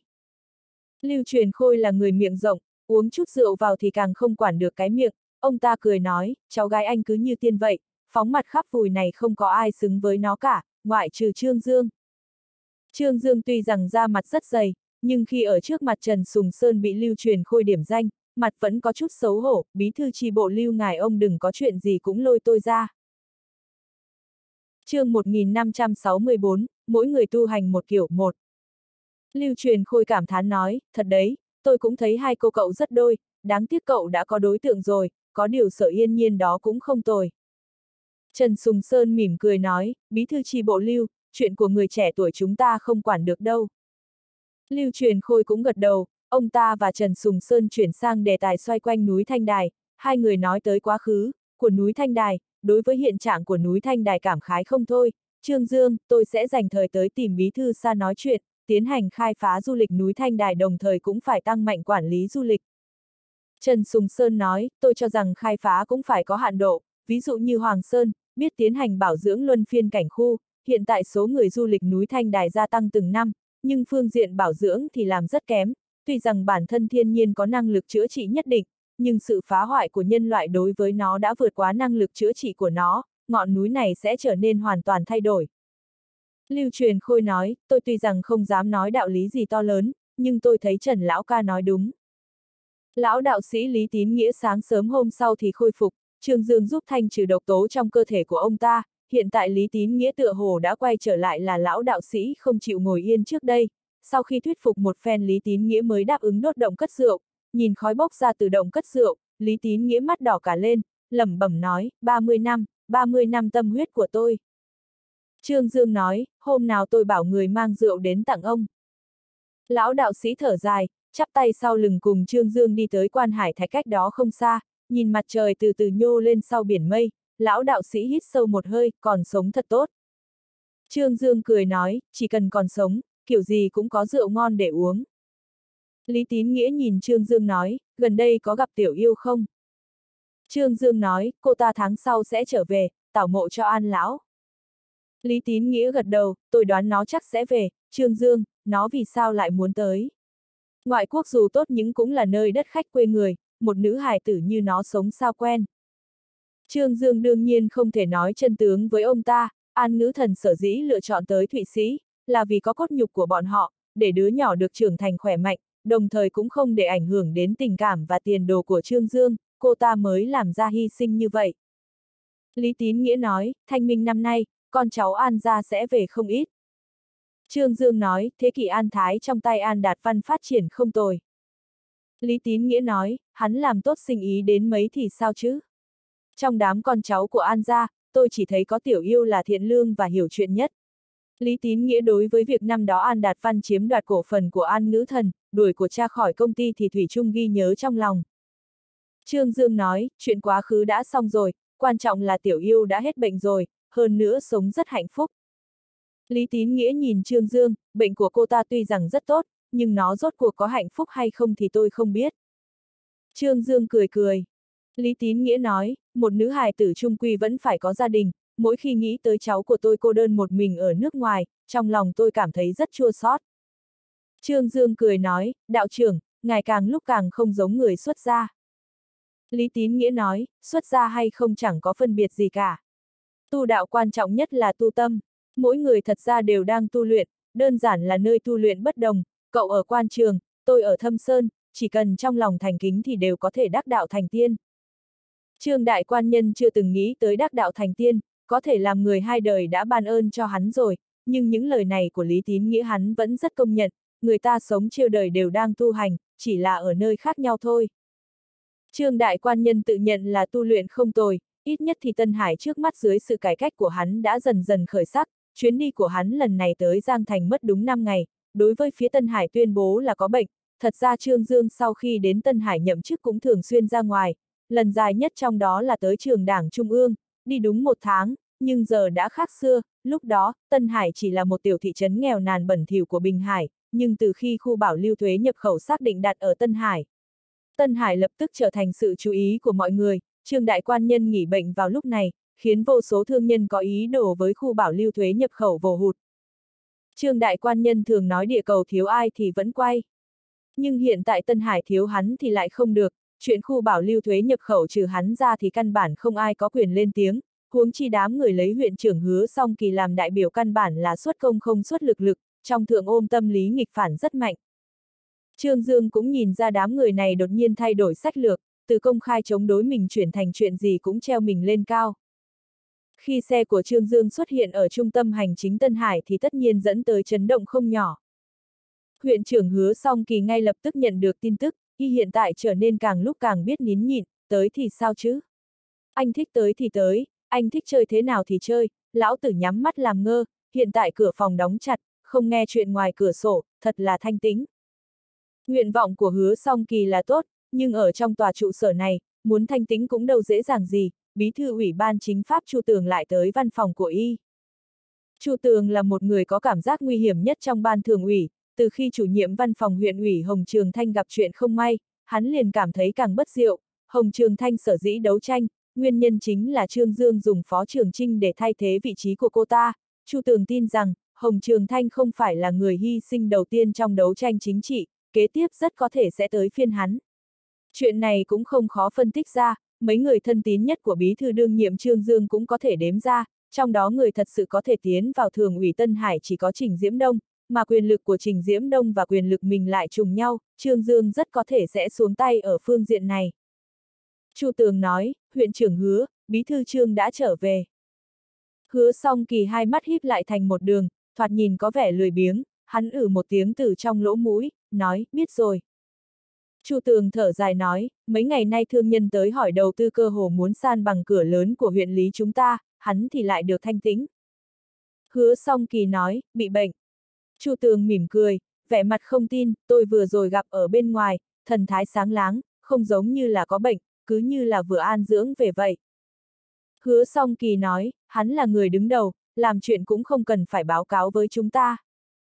Chu Tường bởi vì lời nói lãnh đạm của hứa song kỳ mà cảm thấy có chút xấu hổ, thở dài, huyện trưởng hứa, tôi hiện tại thực sự là không hiểu, Tân Hải này của chúng ta rốt cuộc là muốn đi về đâu. Hứa song kỳ nói, phương pháp chấp chính của mỗi người đều khác nhau, có người xử sự trong cầu tiến tiến, người làm việc manh động liều lĩnh. Chu Tường nói, tôi hiện tại không biết theo ai. Hứa song kỳ nhìn hắn một cái, sao lại nói vậy, quá khứ thì nào thì bây giờ vẫn thế, làm tốt công tác bản chức của mình là được. Chu Tường nói, tuần trước tôi tới Bắc Cảng, đúng dịp gặp Hồng Trường Thanh. Hứa song kỳ nhướn mắt lên, nhìn thoáng qua mặt Chu Tường, cô ta hết bệnh rồi ư. Từ sau khi Hồng Trường Thanh thiết kế hãm hại Trương Dương, không dám trở về đi làm, thật ra mọi người trong lòng đều rất rõ ràng, Hồng Trường Thanh căn bản không có bệnh, cô ta chỉ là âm mưu bại lộ, không có mặt mũi nào trở về đi làm. Đến bây giờ hứa song kỳ vẫn không hiểu, mụ đàn bà này rốt cuộc là có chỗ nào không ổn. Rõ ràng diễn xuất ra một vở kịch rất hay, mắt thấy có cơ hội để làm danh dự của Trương Dương mất sạch, nhưng chính cô ta không ngờ chủ động thừa nhận kế hoạch mình bán đứng chính bản thân mình, với sự hiểu biết của y về Hồng Trường Thanh, nữ nhân này không ngu xuẩn đến mức này. Chu Tường nói, cô ta không có bệnh gì cả, gần đây đang bận điều động. Hứa song kỳ nói, đi cũng tốt, xảy ra sự kiện đó, cô ấy quả thực cũng không tiện tiếp tục công tác ở đây. Chu Tường nói, thật ra tôi cũng đồng tình với cô ta, nếu không phải bị buộc bất đắc dĩ, cô ta cũng sẽ không làm như vậy. Hứa song kỳ chỉ cười cười, y thủy chung cho rằng một người thất bại không đáng được đồng tình.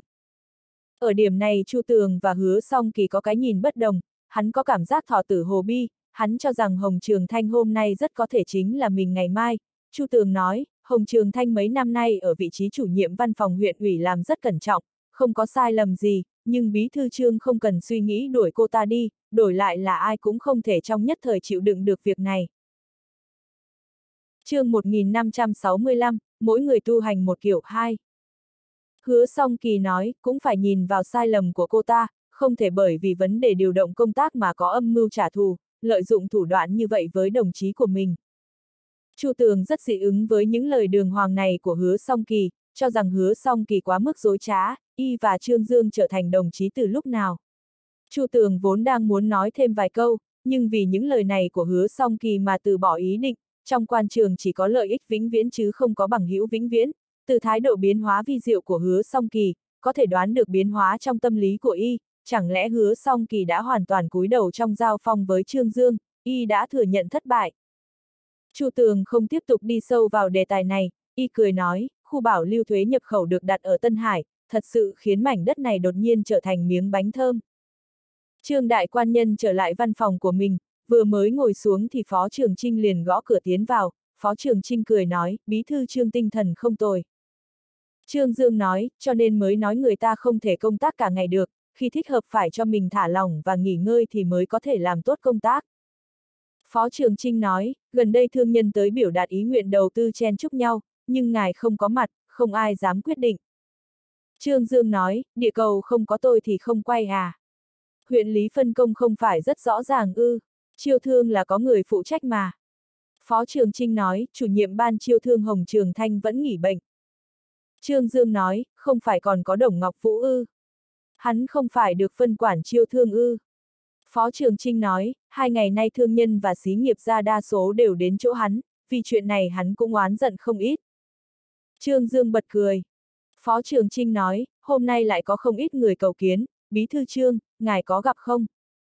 Trương Dương lắc đầu nói, ban quản lý khu bảo lưu thuế nhập khẩu còn chưa được định ra, tôi gặp bọn họ làm gì? Làm việc không thể nóng vội, để bọn họ đăng ký lịch hẹn, đợi đến lúc thời cơ chín mùi tôi sẽ thông chi cho bọn họ gặp mặt. Phó Trường Trinh cũng bật cười, có điều gã nhắc nhở Trương Dương, bí thư Trương, trong đó có đại biểu của mấy công ty đa quốc gia, ngài có phải trước tiên nên gặp mặt họ không? Trương Dương nói, đối xử bình đẳng đi, bọn họ từ xa đã chạy tới không phải vì để gặp mặt tôi, mà là coi trọng hạng mục khu bảo lưu thuế nhập khẩu, nếu bọn họ thực sự cho rằng có thể thu lợi thì cho dù chúng ta lấy gậy gộc ra đuổi bọn họ thì cũng không đuổi được. Phó Trường Trinh nói, vâng, tôi trước tiên từ chối toàn bộ, trước tiên đăng ký đã rồi nói. Trương Dương nói, đúng rồi, cậu thông chi cho các thường ủy, 10 rưỡi sáng hôm nay tới phòng họp thứ nhất họp. Hôm nay hội nghị, các thường ủy đều tới đủ, Trương Đại Quan Nhân vẫn bước vào phòng hội nghị rất đúng giờ, nhìn thấy tất cả thường ủy đều đều trước hắn, không có một ai tới muộn và vắng họp, trong lòng có chút hài lòng, đi tới vị trí của mình rồi ngồi xuống, cười nói tôi bị bệnh vài ngày, vất vả cho mọi người rồi. Lập tức có thường ủy quan tâm hỏi bệnh tình của Trương Dương, Trương Dương nói, đã khỏi rồi, tôi trẻ tuổi nên khôi phục mau. Không ai biết hắn sinh bệnh gì, nhìn dáng vẻ của hắn thì cũng không giống có bệnh. Trương Dương quay sang hứa song kỳ nói, huyện trưởng hứa, trong những ngày tôi bị bệnh, huyện lý không phát sinh chuyện gì chứ. Hứa song kỳ thầm nghĩ anh biết rõ còn cố hỏi, Phó Trường Trinh khẳng định đã kể lại tường tận tất cả chuyện với anh rồi, việc gì phải giả vờ như thế. Hứa song kỳ nói, chính là chuyện khu bảo lưu thuế nhập khẩu, rất nhiều nhà đầu tư và xí nghiệp gia đều tới đây tỏ vẻ hứng thú với chuyện khu bảo lưu thuế nhập khẩu, có rất nhiều người muốn đầu tư vào Tân Hải. Trương Dương cố ý nói, bàn thế nào? Hứa song kỳ nói, bí thư trương, chuyện này khái niệm của tôi là rõ ràng lắm, khu bảo lưu thuế nhập khẩu tuy rằng ở Tân Hải, nhưng quy hoạch cụ thể vẫn chưa có, bảo chúng tôi bàn với người ta thế nào. Trương Dương mỉm cười, quy hoạch đã sớm định ra rồi, hiện tại đang mời chuyên gia không ngừng hoàn thiện, tôi tin không lâu nữa là có thể hoàn thành. Hắn cầm chén trà lên uống một ngụm, mọi người có suy nghĩ gì về khu bảo lưu thuế nhập khẩu thì có thể cứ đề xuất, tiếp thu ý kiến quần chúng, trí tuệ của một mình tôi là có hạn, trí tuệ của mọi người là vô cùng. Phó huyện trưởng thường vụ Đồng Ngọc Vũ nói, Bí thư trương, mọi người đều không ngờ khu bảo lưu thuế nhập khẩu có thể đặt ở Tân Hải, đến bây giờ chúng tôi cũng không thể tin đây là một sự thật. Hứa song kỳ nói, Bí thư trương giữ bí mật công tác thật tốt, trước đó căn bản là không có bất kỳ tin tức gì, nhưng đột nhiên chuyện này được định xuống. Trương Dương cười nói, chuyện khu bảo lưu thuế nhập khẩu tôi cũng không phải là có lòng giấu mọi người, ai cũng biết khu bảo lưu thuế nhập khẩu là một khối thịt béo, nếu không thì Bình Hải có nhiều thành thị như vậy, có ai không muốn ăn khối thịt béo này. Nếu so sánh điều kiện và thực lực, ở Bình Hải thành thị mạnh hơn Tân Hải so với chúng ta có cả nắm, Tân Hải chúng ta có gì. Lần này phải tiên hạ thủ vi cường, chính bởi vậy, cho nên tôi mới nghiêm khắc giữ bí mật này, không phải tôi không tín nhiệm mọi người, mà là bởi vì tôi cũng tự hiểu lấy mình, Tân Hải chúng ta không bằng người ta, nếu không chạy trước vài bước thì người thắng khẳng định sẽ không phải là chúng ta, miếng thịt béo này rõ ràng là chúng ta nhìn thấy trước, dựa vào gì mà tiện nghi cho người khác. Các anh nói xem có đúng không? Đa số người trong thường ủy gật đầu, những lời này của Trương Dương rất đúng, nếu đặt trước cùng một vạch, Tân Hải khẳng định sẽ không phải là người chiến thắng cuối cùng, đừng nói so sánh với những thành thị phát đạt như Lam Sơn, Nam Tích, cho dù là chỉ so sánh trong Bắc Cảng, Tân Hải cũng chẳng có bất kỳ ưu thế nào. Đám thường ủy này đều là hãng lăn lộn nhiều năm trong chính đàn, ai cũng hiểu Trương Dương sở dĩ giữ bí mật, còn có một nguyên nhân trọng yếu hơn là phòng bị Bắc Cảng, tuy rằng Tân Hải lệ thuộc vào Bắc Cảng, nhưng cũng không có nghĩa là trọng điểm phát triển của Bắc Cảng chính là Tân Hải. Bắc Cảng có nhiều hạt huyền và địa khu như vậy, các lãnh đạo thành phố Bắc Cảng khẳng định sẽ cân nhắc từ đại cục, mà xử lý sự việc một cách công bằng, thật ra cho tới nay, lãnh đạo thành phố Bắc Cảng rất không coi trọng Tân Hải. Từ Thắng nói, Bí Thư Trương nói đúng, thật ra loại chuyện này trước khi chưa được chứng thực thì càng ít người biết càng tốt, chuyện còn chưa xong xuôi, để cho cả thế giới đều biết thì đến lúc đó không biết sẽ mọc ra bao nhiêu đối thủ cạnh tranh. Hiện tại khu bảo lưu thuế nhập khẩu cuối cùng cũng được đặt ở Tân Hải chúng ta, đây là một chuyện tốt, đối với sự phát triển trong tương lai của Tân Hải là rất quan trọng. Trương Dương mỉm cười gật đầu với Từ Thắng, đa tạ từ chính ủy hiểu cho. Từ Thắng là một người luôn có thái độ ủng hộ hắn trong các thường ủy. Thật ra cái này cũng không phải là vì Từ Thắng muốn ngả vào trận doanh của Trương Dương, mà là phong cách của Từ Thắng chính là như vậy, ai là lão đại ở Tân Hải thì hắn sẽ lên tiếng cho người đó. Hứa song kỳ nói, Bí thư Trương, bởi vì khu bảo lưu thuế nhập khẩu đặt ở Tân Hải, hiện tại thương nhân và xí nghiệp ra có ý đồ đầu tư càng lúc càng nhiều, huyện lý với chúng ta đối với điều này vẫn còn thiếu chuẩn bị, ngay cả bộ môn đặc biệt phụ trách tiếp đái cũng không có, cơ hội tới chỗ chúng ta không thể để nó trôi đi trước mặt được phải không? Trương Dương mỉm cười nói, lão hứa nói cũng chính là điều mà tôi muốn nói, việc cấp bách mà chúng ta phải làm chính là thành lập ban chủ hoạch kiến lập khu bảo lưu thuế nhập khẩu, ban này cực kỳ quan trọng, về sau lãnh đạo, chiêu thương, xây dựng khu bảo lưu thuế nhập khẩu đều do đoàn đội này phụ trách, yêu cầu đối với bọn họ là khá. Thật ra trước đó tôi đã chuẩn bị để đồng chí Hồng Trường Thanh phụ trách chuyện này, nhưng rất không may là cô ta lại bị bệnh đúng vào lúc này, công tác không đợi người, chúng ta không thể chờ cô ta khôi phục mới bắt đầu công tác khu bảo lưu thuế nhập khẩu được, cho nên chuyện tổ kiến đoàn đội lãnh đạo khu bảo lưu thuế nhập khẩu là lửa xém lông mày. Tôi quyết định tự mình nắm giữ ấn soái tổng chỉ huy xây dựng quy hoạch khu bảo lưu thuế nhập khẩu, ha ha, mọi người có ý kiến gì không? Tất cả thường ủy đều nghe rõ, người ta nói không phải là đề nghị, mà là quyết định, câu hỏi ý kiến cuối cùng chỉ là làm cho có, ai có thể phản đối chứ? Hứa song kỳ nói, tôi thấy như vậy là tốt nhất. Nghĩ thầm anh không phải là tham ư, sợ người khác cướp đi chính thích của anh, cái nên là của anh thì chính là của anh, tôi không có hứng thú tranh cướp, mà tôi có tranh cũng không lại anh, nói tóm lại, khu bảo lưu thuế nhập khẩu của anh anh muốn làm thế nào thì làm, thành tích tôi không cần, xảy ra chuyện thì không liên quan tới tôi, anh muốn trách thì cứ trách. Trương Dương nói, chức tổng chỉ huy này của tôi chỉ có thể là trên danh nghĩa, lão hứa à, phó tổng chỉ huy do anh đảm nhiệm đi. chương 1566, mỗi người tu hành một kiểu ba.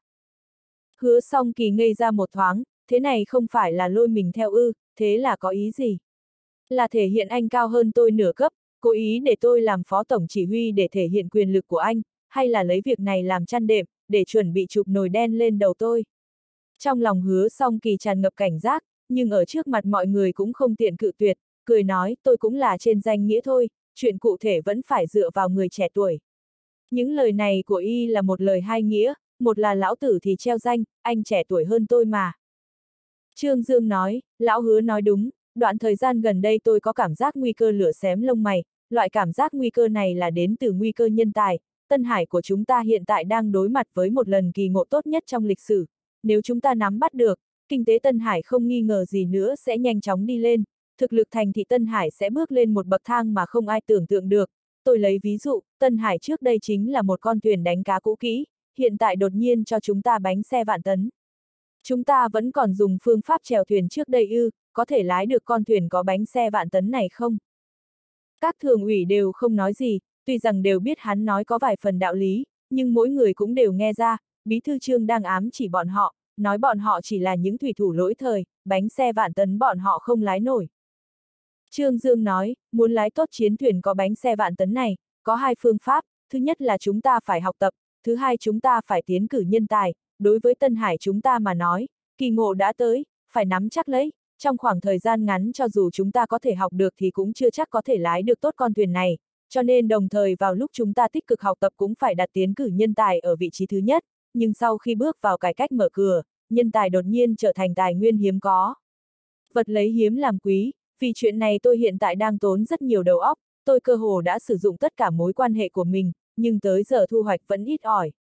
Hiện tại chuyện khu bảo lưu thuế nhập khẩu đã được định ra rồi, chúng ta phải hợp mưu hợp sức, công tác hàng đầu chính là phát hiện nhân tài, tiến cử nhân tài, đối với cán bộ trẻ tuổi có năng lực trong hệ thống thì phải ưu tiên cân nhắc, đối với cán bộ ưu tú không nằm trong hệ thống nhưng có sở trường về buôn bán bên ngoài và từng có kinh nghiệm công tác tương quan thì phải tuyển, là người lãnh đạo của Tân Hải, tôi cam đoan sẽ bật đèn xanh cho nhân tài chân chính.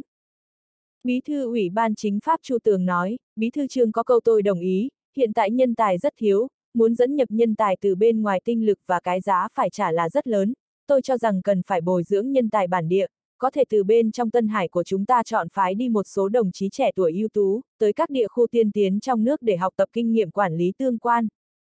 Trương Dương mỉm cười nói, đây đúng là một trong những kế hoạch của tôi, tóm lại mọi người phải bệnh thành một sợi dây, cần phải trong khoảng thời gian ngắn tổ kiến tốt đoàn đội lãnh đạo khu bảo lưu thuế nhập khẩu Tân Hải.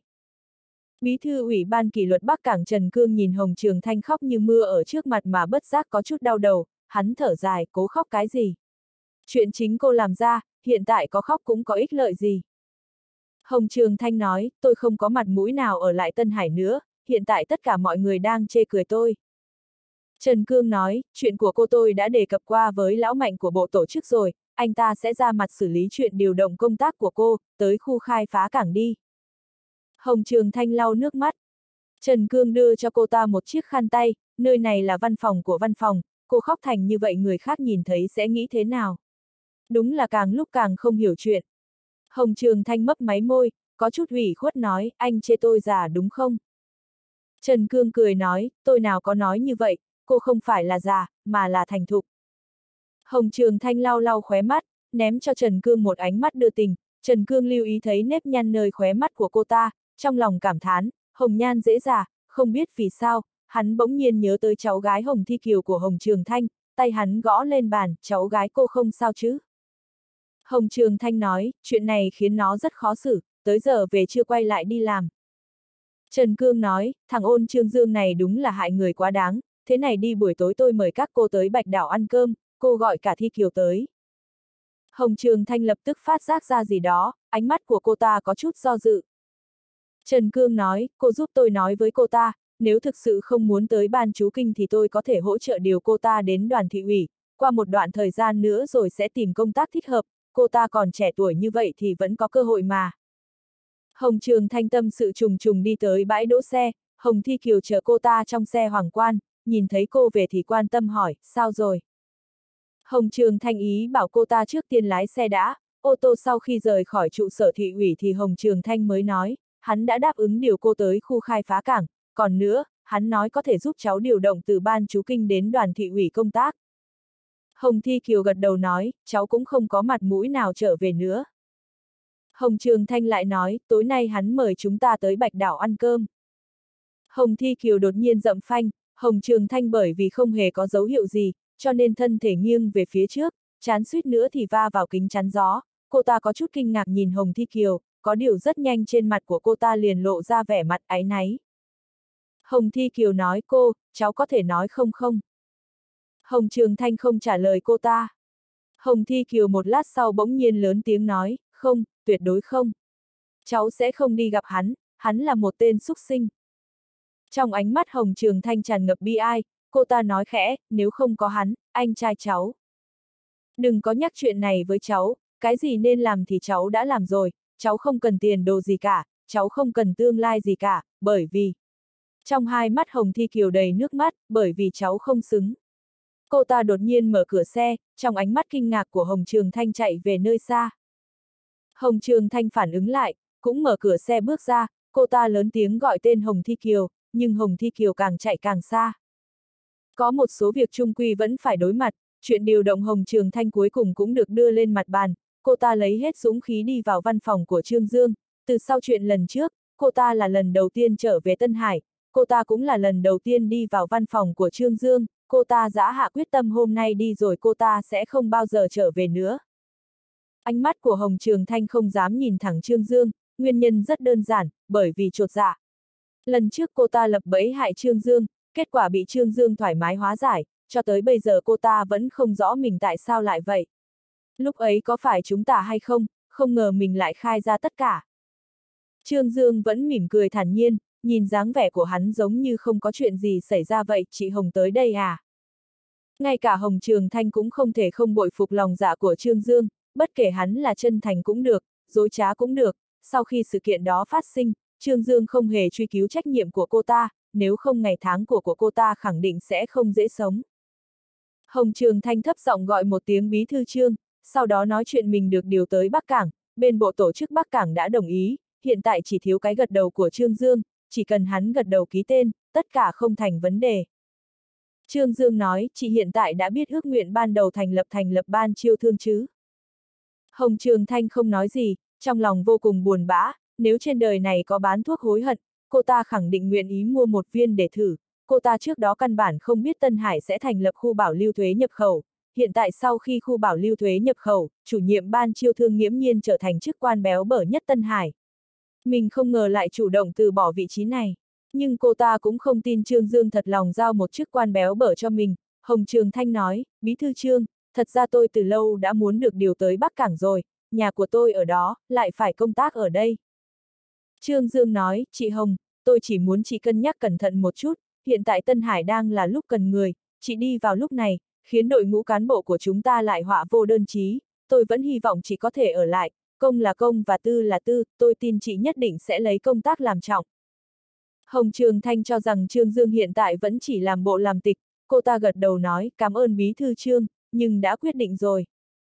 Trương Dương nói, được, chị đã cân nhắc kỹ thì tôi cũng không tiện kiên trì ngăn cản, chị tới bộ tổ chức làm thủ tục đi, buổi trưa hôm nay đừng an bài chuyện khác, tôi triệu tập mọi người tổ chức tiến trị. Hồng Trường Thanh vội vàng lắc đầu, thôi đi, bí thư Trương, không cần đâu mà. Cô ta từng thiết kế hãm hại Trương Dương, hiện tại Trương Dương chẳng những không truy cứu hơn nữa còn đề xuất tiễn đưa cho cô ta, Trương Dương có phải muốn nêu cao hình tượng Quang Huy lấy ơn báo oán trước mặt người khác không? Nghĩ tới cảnh xấu hổ có thể phải gặp, Hồng Trường Thanh còn có cả tâm tư bỏ chạy chương 1567, rộng lượng 1. Trương Dương cười nói, phải làm chứ, ăn bữa cơm thôi mà, sắp đến giữa trưa rồi, tôi sẽ bảo bọn họ chuẩn bị một chút, chị tuy rằng được điều đi rồi, nhưng chúng tôi cũng không thể người vừa đi trà liền lạnh. Trương Dương gọi điện thoại cho Phó Trường Trinh, bảo gã tới nhà khách huyện ủy an bài tiệc tiến đưa, lại bảo gã thông chi cho mấy vị thường ủy. Với thân phận chủ nhiệm văn phòng huyện ủy trước đây của Hồng Trường Thanh, quả thật nên làm vậy, nhưng quan hệ giữa cô ta và Trương Dương tuyệt không tốt như vậy. Hồng Trường Thanh thậm chí bắt đầu sợ, Trương Dương liệu có mượn cơ hội này để vũ nhục mình không? Cô ta vẫn đứng đó, Trương Dương còn chưa ký tên trên lệnh điều động. Trương Dương nhìn thấy nơi Hồng Trường Thanh được điều đi là khu khai phá cảng, hắn cầm bút ký đồng ý. Hồng Trường Thanh nhìn thấy hắn không hề làm khó dễ mình, trong lòng thở phào nhẹ nhõm một hơi, Trương Dương đưa văn kiện đã ký cho cô ta, thuận miệng hỏi, chị Hồng, công tác cụ thể bên kia của chị đã được quyết định chưa? Hồng Trường Thanh gật đầu, nói khẽ, bước đầu đi cho tôi tới ban tổng hợp cục khoa học kỹ thuật.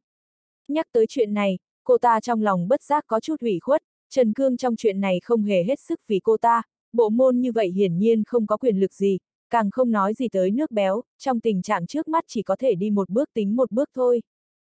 Trương Dương nói, về sau khu bảo lưu thuế nhập khẩu Tân Hải khẳng định sẽ phát triển hơn cảng khu. Hồng Trường Thanh rời khỏi văn phòng Trương Dương, tâm tình chán nản tới cực độ, cô ta thực sự cảm thấy hối hận, nếu lúc trước mình không xuống tay trả thù Trương Dương, hiện tại cô ta đã ngồi trên vị trí chủ nhiệm ban chiêu thương Tân Hải, một bước sai thì cả bàn sai, con người của Trần Cương này quá thực tế, muốn hắn làm việc cho mình thì phải trả cái giá khiến hắn hài lòng. Hồng Trường Thanh đi vào văn phòng từng thuộc về mình, đóng cửa phòng, một mình ngơ ngác ngồi trước bàn làm việc, không biết vì sao, cô ta bỗng nhiên có cảm giác muốn khóc, tiếng chuông di động đã cắt ngang tình tự của cô ta, Hồng Trường Thanh bắt máy.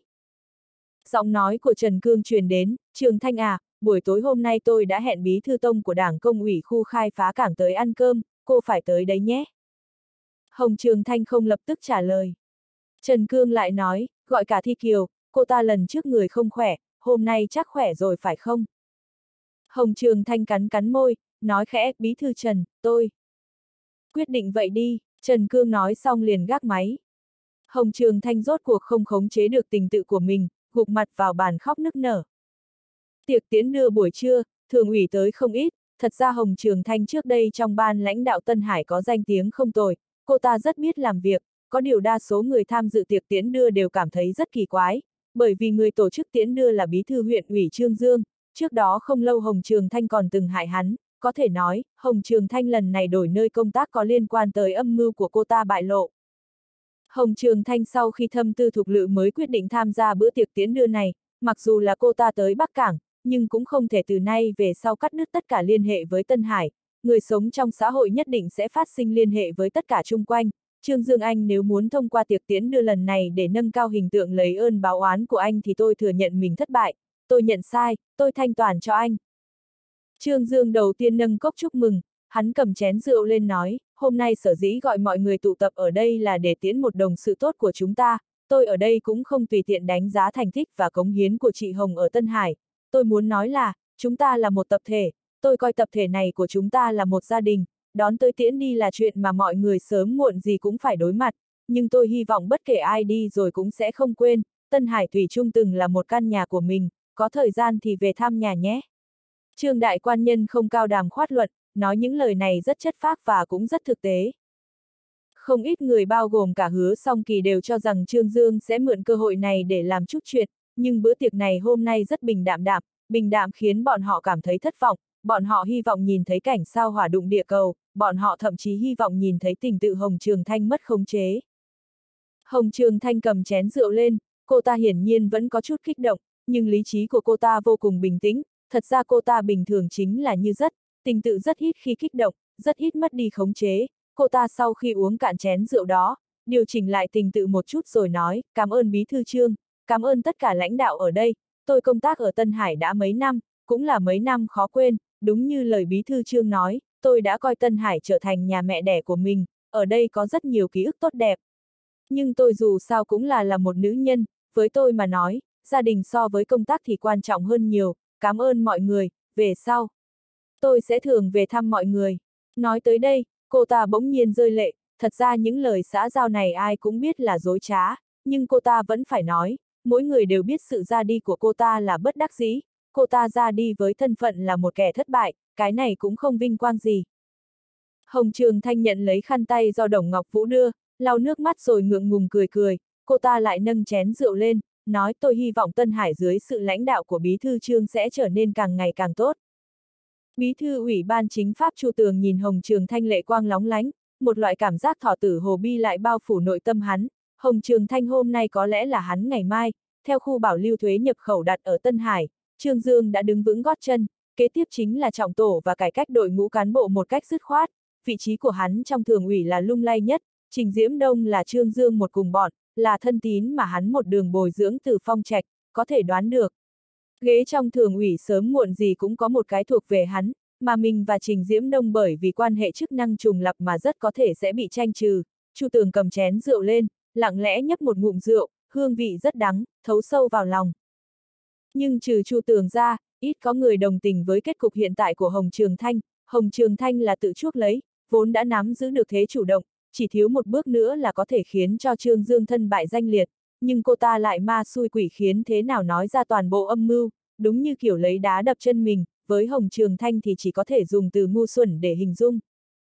Biểu hiện của Trương Dương trong vấn đề của Hồng Trường Thanh rất có phong phạm đại tướng, chẳng những cử hành tiệc tiễn đưa cho cô ta, hơn nữa còn đặc biệt phái lái xe đưa Hồng Trường Thanh về Bắc Cảng, mượn cơ hội tạo một chút hình tượng quang huy lấy ơn báo oán, Trương Đại Quan Nhân thực sự không để Hồng Trường Thanh vào mắt, cũng không định trả thù cô ta, nếu mỗi việc nhỏ đều phải có thù tất báo thì còn nói gì tới làm đại sự. Bữa tiệc tiễn đưa này hoàn thành trong gió êm sóng lặng, Trương Dương trên đường từ nhà khách huyện ủy trở về văn phòng thì gặp Thường Hải Tâm, đi cùng cô ta còn có đại ca Thường Hải Thiên của cô ta. Trương Dương cười nói, Hải Thiên, đến lúc nào thế? Thường Hải Thiên nói, đến từ sáng, đi qua nhà máy một lúc, nghe Hải Tâm nói anh tìm tôi có chuyện quan trọng muốn thương lượng cho nên tới đây gặp mặt. Trương Dương gật đầu. Thường Hải Tâm cười nói, Bí thư Trương, tôi giao đại ca của tôi cho anh, đoàn huyện ủy còn một đống chuyện, tôi phải trở về làm đây. Trương Dương nói, cô yên tâm đi đi, tôi buổi chiều sẽ tâm sự với Hải Thiên. Thường Hải Thiên đi theo Trương Dương vào văn phòng của hắn, ngồi xuống sofa ra thật, Thường Hải Thiên nhận lấy chai nước khoáng mà Trương Dương đưa cho gã, cười nói, văn phòng của bí thư huyện ủy anh còn khí phái hơn cả bí thư tỉnh ủy. Trương Đại Quan Nhân nói, tiền nhân trồng cây hậu nhân hái quả, tôi cũng không muốn ngông nghênh vậy đâu, nhưng người ta đã xây trụ sở làm việc rồi, tôi nếu không dùng thì há chẳng phải là thành lãng phí ư. Thường Hải Thiên uống nước rồi nói, tìm tôi có chuyện gì? Trương Dương tựa vào bàn làm việc mỉm cười nhìn Thường Hải Thiên, đừng giả ngu với tôi, Hải Tâm không phải đã nói với anh rồi ư. Thường Hải Thiên cười nói, có nói một ít, tôi chỉ là cảm thấy suy nghĩ của anh có chút kỳ quái, sao đột nhiên nghĩ đến tôi. Trương Dương nói, thật ra địa vị của anh trong mắt tôi luôn rất cao, tôi thủy chung cho rằng anh là một đại tài. Thôi đi, đừng có nịnh bợ tôi, nói thật đi. Trương Dương nói, Hải Thiên, tôi thực sự không hề nịnh bợ anh, lúc trước mời đem anh từ Lam Sơn đến Giang Thành, nhà máy dược Giang Thành trong tay anh phát triển lớn mạnh, giai đồng năm đó thường nói với tôi, năng lực quản lý kinh doanh của anh so với cô ấy còn mạnh hơn, về sau anh rời khỏi nhà máy dược Giang Thành, tự lập môn hộ làm nhà máy chế phẩm sinh vật biển, cũng làm rất phong sinh thủy khởi. Thường Hải Thiên cười nói, còn không phải bởi vì anh giúp tôi ư, nhà máy hàng hóa thường ngày của tôi ở Lam Sơn gặp chuyện không may, khi đang ở nhà đợi việc thì anh đề cử tôi đến nhà máy dược Giang Thành, về sau lại bị cố minh kiện ép đi, tôi quyết định tự mình gây dựng sự nghiệp, khi tới Tĩnh Hải làm nhà máy chế phẩm sinh vật biển, vẫn là anh giúp tôi, chẳng những giúp tôi trên chính sách mà còn cung cấp không ràng buộc cho tôi một khoản tài chính khởi động, Trương Dương, phần tình nghĩa này của anh đối với tôi tôi vĩnh viễn sẽ không quên. chương 1568, rộng lượng 2 Trương Dương nói, nếu nói vậy, anh thừa nhận mình nợ tôi một món nhân tình. Thường Hải Thiên nói, muốn lập bẫy tôi à? Trương Dương ngồi xuống bên cạnh hắn, trong tay là bản đồ quy hoạch sơ đồ phát thảo khu bảo lưu thuế nhập khẩu, hắn cầm bản đồ ném lên bàn trà, đây là bản quy hoạch khu bảo lưu thuế nhập khẩu Tân Hải, lấy cảng Phước Long làm trung tâm, Nam Bắc tạo ra khu khai phá kiểu mới, sườn Tây xây dựng vườn hậu cần hiện đại hóa và trung tâm kho bãi, chỉ là quy hoạch bước đầu. Thường Hải Thiên nói, quy hoạch không tồi, chúc mừng anh, khu bảo lưu thuế nhập khẩu đầu tiên của Bình Hải đặt ở Tân Hải. Trương Dương nói, anh thấy bản quy hoạch này mà không cảm thấy có chút hưng phấn nào à? Thường Hải Thiên nói, có một chút, hưng phấn cho anh, cao hứng cho anh. Anh thực sự không muốn tham dự vào đó ư, sự nghiệp vĩ đại như vậy mà anh không muốn cùng tôi làm lớn một trận ư. Giọng nói của Trương Đại Quan Nhân tràn ngập tính cổ động, không thể không thừa nhận mị lực cá nhân của thằng cha này càng ngày càng mạnh, rất dễ tạo ra sức cuốn hút cho người bên cạnh. Thường Hải Thiên bật cười, Trương Dương, tôi chuẩn bị dắt tay anh đây, sau khi di rời Alpha thì sẽ chuyển về trong khu bảo lưu thuế nhập khẩu, về sau vị quan phụ mẫu anh phải chiếu cố tôi nhiều hơn. Trương Dương nói, Hải Thiên, tôi là nói anh xem có nên cân nhắc lại không, bỏ thương tòng chính, tới khu bảo lưu thuế nhập khẩu Tân Hải công tác, nhân thủ bên cạnh tôi hiện tại thiếu nghiêm trọng. Thường Hải Thiên nói, Trương Dương, tôi không phải không muốn giúp anh, nhưng tôi có nhà máy chế phẩm sinh vật biển Hải Thiên, nhà xưởng ở đây lại vừa mới mua, nếu tôi tới giúp đỡ anh thì Hải đóng cửa cả hai hà máy này, tòng chính là không cho phép làm kinh thương, hơn nữa. Thường Hải Thiên tạm dừng một chút rồi lại nói, tôi luôn cảm thấy chính đàn rất phức tạp và quá mệt mỏi, không bằng làm buôn bán thoải mái hơn, không cần nhìn sắc mặt của người khác. Trương Dương nói, chúng ta sống trên đời là vì gì? Vì tiền, thăng quan, đều không phải, chúng ta đều là để chứng minh mình, Hải Thiên, anh cho rằng thương trường có thể chứng minh được năng lực của anh ư. Có thể để tài hoa của anh được thi triển ư. Thường Hải Thiên nói, chúng ta là bạn tốt, tôi cũng không dối gạt anh, thật ra trước đây tôi từng có ý định bước vào sĩ đồ, đó vẫn là trước cả lúc tôi làm ở nhà máy hàng hóa thường ngày Lam Sơn, nếu không có trận hỏa hoạn thình lình đó, có lẽ tôi sẽ kiên định đi tiếp trên sĩ đồ, nhưng chuyện lần đó khiến tôi cảm thấy sâu sắc rằng trong quan trường quá nhiều mạo hiểm, anh không chỉ phải gánh vác trách nhiệm mà anh nên gánh, rất nhiều lúc anh cũng phải gánh vác trách nhiệm vốn không thuộc về anh. Trương Dương nói, anh sợ ư. Thường Hải Thiên lắc đầu, tôi không sợ, nhưng tôi thực sự không thích hiện trạng của quan trường, anh có cảm thấy quan trường hiện tại tràn ngập đấu tranh và công lợi không? Trong quan trường khổng lồ, có mấy ai là thực sự làm việc cho dân? Trương Dương nói, chính bởi vậy cho nên tôi mới cần người có năng lực như anh tới đây giúp tôi. Nói tới đây, hắn vỗ vỗ vai thường Hải Thiên, Hải Thiên, anh yên tâm, tôi sẽ không làm khó huynh đệ của mình đâu, trong chuyện này tôi tôn trọng lựa chọn của anh, nếu anh thực sự không muốn tổng chính thì coi như tôi chưa nói gì, về sau ở bên cạnh tôi làm cố vấn cũng được. Thường Hải Thiên nói, tháng sau tôi sẽ kết hôn. Trương Dương không ngờ hắn đột nhiên chuyển đề tài, cười nói, nhanh như vậy à? Hải Thiên nói, ý tứ của lão gia tử, một mực dục tôi lập gia đình. Trương Dương nói với Thường Hải Thiên, chúc mừng anh, xem ra tôi phải chuẩn bị hạ lễ cho anh rồi. Thường Hải Thiên nói, tôi chuẩn bị xây hôn phòng ở Tân Hải. Trương Dương nói, anh định chuyển rời trung tâm xí nghiệp đến bên này ư. Hoan nghênh, hoan nghênh.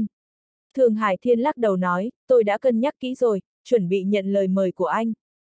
Trương Đại Quan Nhân không thể tin vào tai mình, vốn hắn cho rằng không xong rồi, Thường Hải Thiên khẳng định không nỡ từ bỏ thương nghiệp đang phát triển tốt, nhưng không ngờ Thường Hải Thiên sẽ đưa ra quyết định như vậy. Thường Hải Thiên cười nói, không phải anh thay đổi được tôi, cũng không phải là Hải Tâm thuyết phục tôi, mà là cha tôi, sau khi biết anh muốn mời tôi gia nhập khu bảo lưu thuế nhập khẩu Tân Hải, ông ta rất hưng phấn, ngoài miệng thì ông ta không nói gì tới chuyện này nhưng tôi biết trong lòng ông ta rất hy vọng trong ba người chúng tôi có người có thể kế thừa sự nghiệp của ông ta, bước vào chính đàn, Hải Long một lòng kinh thương, Hải Tâm đối với phương diện quan trường thì rất hờ hứng, không có lòng công lợi. Kỳ thực cha tôi lúc ban đầu ký thác tất cả hy vọng lên người tôi, sau khi chuyện nhà máy hàng hóa Lam Sơn phát sinh, bất kể đối với tôi hay là đối với ông ta đều là đả kích trầm trọng. Trương Dương nói, anh vì thực hiện nguyện vọng của cha anh mà quyết định bước vào chính đàn. Thường Hải Thiên cười ha ha, nói, không chỉ có như vậy, nhạc phụ đại nhân của tôi cũng là người khinh thương trọng chính, tôi làm kinh thương trong mắt ông ta Thủy chung cũng không phải là chính lộ, tôi sở dĩ quyết định tới đây giúp anh cũng có ý chuẩn bị lấy lòng ông ta.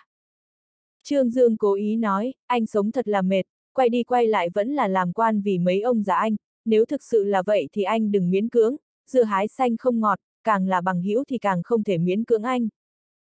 Thường Hải Thiên nói, tôi còn chưa nói hết câu mà, còn có một nguyên nhân quan trọng nhất chính là bản thân tôi, tôi phát hiện hứng thú của tôi đối với tổng chính so với kinh thương thì lớn hơn, tuy rằng quan trường có khuyết điểm và tật xấu, có điều tôi tổng chính không phải vì đấu tranh, mà là để làm việc, một câu của Hải Tâm khiến tôi hạ quyết tâm. Nói cái gì? Trương Đại Quan Nhân có hứng thú hỏi. Thường Hải Thiên cười nói, nó nói giản lược, tôi phục trách bộ phận làm việc, còn bộ phận đấu tranh thì giao cho anh, trời sập xuống cũng có bí thư Trương đỡ. Trương Dương cười ha ha, Hải Tâm đúng là rất hiểu mình, có điều câu này hình như hướng về anh ruột của cô ta quá rồi, không ngờ khó khăn toàn bộ để nam nhân của mình gánh. Trương Dương nói, nói không sai, về sau anh chỉ phụ trách làm việc, tôi phụ trách đấu tranh, đấu tranh là sở trường của tôi, mặc kệ đấu văn hay là đấu võ, tôi nhận thứ hai thì không ai dám nhận thứ nhất. Thường Hải Thiên nói, tốt lắm, chúng ta phân chia như vậy. Trương Dương nói, anh cần bao lâu thời gian thì xử lý xong chuyện nhà xưởng. Thường Hải Thiên sau khi Tòng Chính hiển nhiên không thể tiếp tục kinh thương, ở phương diện này Thường Hải Thiên tổn thất rất lớn. Thường Hải Thiên nói, chuyện này tôi đã liên hệ với nhà máy Dược Giang Thành rồi, trong điện thoại đã nói qua chuyện này với Hồ Nhân Như, hai ngày nữa cô ta và Dưỡng Dưỡng sẽ cùng nhau tới đây khảo sát nhà máy vaccine sinh vật vaccine sinh vật Alpha, tôi nếu không làm thì dứt khoát giao Alpha cho họ quản lý, nước phù sa không chảy ra ruộng người ngoài, chuyển nhượng luôn một lần, sạch sẽ gọn gàng, đỡ để người ta sau này lấy chuyện này ra chọc ngoáy. Thường Hải Thiên xuất thân từ gia đình cán bộ, đối với chuyện phương diện này hiểu được rất nhiều. An bài như vậy rất tốt, Trương Dương cũng vô cùng hài lòng, hắn đưa sơ đồ phát thảo quy hoạch đó đưa cho Thường Hải Thiên, khu bảo lưu thuế nhập khẩu tôi giao cho anh, chúng ta tuy rằng là bạn tốt, nhưng lời xấu nói trước, tôi sở dĩ tìm tới anh là vì biết kinh nghiệm quản lý của anh phong phú, tin anh có năng lực ở phương diện này. Thường Hải Thiên nói, anh sợ nhìn lầm à? Trương Dương cười hắc hắc, chắc là không. Thường Hải Thiên nói, nếu chứng thực tôi không phải có nghề, không cần anh nói tôi sẽ tự chủ động chạy lấy người, nhưng tôi cũng phải lời xấu nói trước, anh giao chuyện trọng yếu như khu bảo lưu thuế nhập khẩu cho tôi, anh phải tín nhiệm tôi, tôi tin phương diện này anh không thành vấn đề, còn có một điểm chính là anh tận hết khả năng trao quyền cho tôi, không thể tiến hành quá nhiều can thiệp vào công tác của tôi, vẫn là câu đó, công tác anh cứ giao cho tôi làm, áp lực khác thì anh phải đỡ cho tôi. Trương Dương nói, không thành vấn đề, ngày mai tôi sẽ chính thức viết thư mời cho anh. Thường Hải Thiên nói, tôi bắt đầu lại từ đầu trên chính đàn, mặc dù có kinh nghiệm quản lý, nhưng người khác sẽ xem hồ sơ của anh, tôi cho anh một đề nghị, khu bảo lưu thuế nhập khẩu chưa bắt đầu xây dựng chính thức, anh trước tiên thành lập bộ chỉ huy, anh dẫn dầu, trước tiên đừng cho xác đuyết cụ thể, thành lập một tiểu tổ cố vấn đặc biệt, tôi sẽ đến phụ trách, trước tiên để ban để cho anh dựng. Trương Dương gật đầu nói, tôi cũng nghĩ như vậy, có điều vốn chuẩn bị mời anh trực tiếp làm chủ nhiệm. Thường Hải Thiên cười nói, quan hàm biên chế đều là giả, tôi là muốn làm việc, không phải là muốn làm quan, anh hiện tại phán chức cho tôi, không biết sẽ có bao nhiêu người ở sau lưng anh nói ra nói vào, tất cả cứ từ từ, chúng ta trước tiên làm ra chút chuyện đã, sau đó mới luận công ban thưởng. Trương Dương nói, được, anh chỉ cần không ngại thân phận là được, tôi chỉ sợ anh thấy ủy khuất. Thường Hải Thiên nói, không ủy khuất, chỉ cần anh tin tôi, phóng quyền cho tôi là được. Trương Đại Quan Nhân chừng mắt nhìn, Hải Thiên à, tôi phát hiện dã tâm của anh lớn lắm. Thường Hải Thiên cười nói, cho nên anh cân nhắc cho cẩn thận, mời một người có dã tâm như tôi đến, rốt cuộc có phải là chuyện tốt hay không, hiện tại hối hận vẫn còn kịp. Trương Dương cười ha ha, nói con người ta nếu một chút dã tâm cũng không có thì có thể làm được gì chứ, chúng ta phải nhất định làm một cách oanh liệt, phải để tất cả mọi người nhìn thấy năng lực của đám thanh niên chúng ta. Thường Hải Thiên nói, chỉ dựa vào mấy người anh tôi chỉ sợ vẫn chưa đủ. Trương Dương nói, anh đừng lo, tôi đang đi tìm nhân tài, chỉ cần là có năng lực, bối cảnh chính trị không có vấn đề gì thì tôi sẽ thật tâm mời đến, tương lai đoàn đội quản lý xây dựng khu bảo lưu thuế nhập khẩu Tân Hải tất nhiên sẽ là nhất lưu trong nước. chương 1569, Giám thị 1 Ban lãnh đạo khu bảo lưu thuế nhập khẩu Tân Hải tổ kiến dựa theo kế hoạch của Trương Dương, hắn nghe theo đề nghị của Thường Hải Thiên, trước tiên không vội bắt tay vào giải quyết vấn đề biên chế của những nhân viên mới gia nhập, tạm thời toàn bố áp dụng chế độ tạm thời, từ mấy nhân vật mấu chốt ra thì những nhân viên công tác khác đều có 3 tháng thử việc, như vậy có thể tránh được lời ong tiếng ve của ngoại giới. Khu bảo lưu thuế nhập khẩu khiến Tân Hải xuất hiện một chỗ hồng nhân tài cực lớn, Trương Đại Quan Nhân nhằm vào tiến cử nhân tài định ra một loạt điều kiện ưu đãi, ví dụ như ở bên cạnh Hải Dương Hoa Viên đặc biệt phê một khối đất dùng để xây dựng hoa viên nhân tài, dùng để cung cấp chỗ ở cho những nhân tài đang có của Tân Hải và nhân tài tiến cử trong tương lai, phương diện đãi ngộ cũng định ra phương án tương ứng, có điều việc này cũng không thể tiến hành lộ liễu mà tiến hành thầm lặng. Tân Hải đầu tiên tiến hành cải tạo đường và đèn đường, ở tất cả giao lộ giao thông đều xây dựng lâm viên xanh hóa, đây là một bộ phận thiết kế của giáo thụ Trình Nhuận Sinh, lúc mới khởi công giáo thụ Trình Nhuận Sinh đặc biệt tới Tân Hải tiến hành chỉ huy ở hiện trường. Trương Dương lại làm ra một chuyện khiến ban lãnh đạo Tân Hải chú ý, hắn chuyển ra khỏi hoa viên, hoàn toàn tặng biệt thự mà mình hiện tại đang ở cho Trình Nhuận Sinh, điều này khiến cho các lãnh đạo huyện trong Hải Dương Hoa Viên đều cảm thấy có chút bất an, cách làm của Trương Dương có phải có nghĩa là bắt đầu thay đổi không?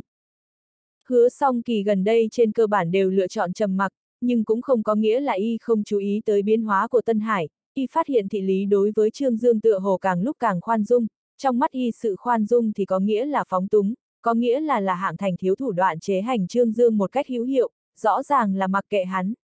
Hứa song kỳ rất buồn khổ, ở Tân Hải y càng lúc càng không tìm thấy vị trí của mình, ham muốn khống chế quyền lực của Trương Dương rất mạnh, mình ở Tân Hải trở nên càng lúc càng không có quyền lên tiếng.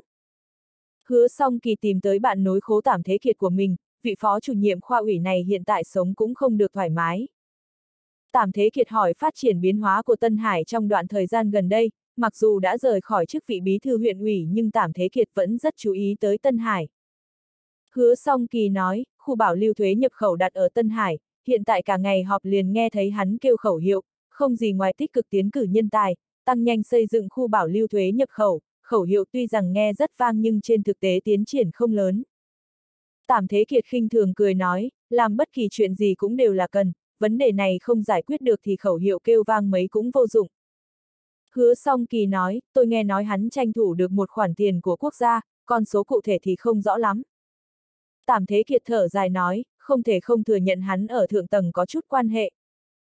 Hứa song kỳ nói, có điều tôi có chút không hiểu, hiện tại xí nghiệp và thương gia muốn tới Tân Hải đầu tư rất nhiều, nhưng hắn lại áp dụng phương pháp xử lý đùn đẩy, chẳng lẽ hắn không sợ những nhà đầu tư này mất đi kiên nhẫn, đi đầu tư ở chỗ khác ư? Trung Quốc lớn như vậy cũng không phải chỉ có ở Tân Hải là kiếm được tiền. tạm Thế Kiệt nói, đây là chỗ thông minh của hắn, khu bảo lưu thuế nhập khẩu Tân Hải tuy rằng đã được định ra, nhưng hắn vẫn chưa hoàn thành công tác chủ bị, lấy gì mà bàn với người khác.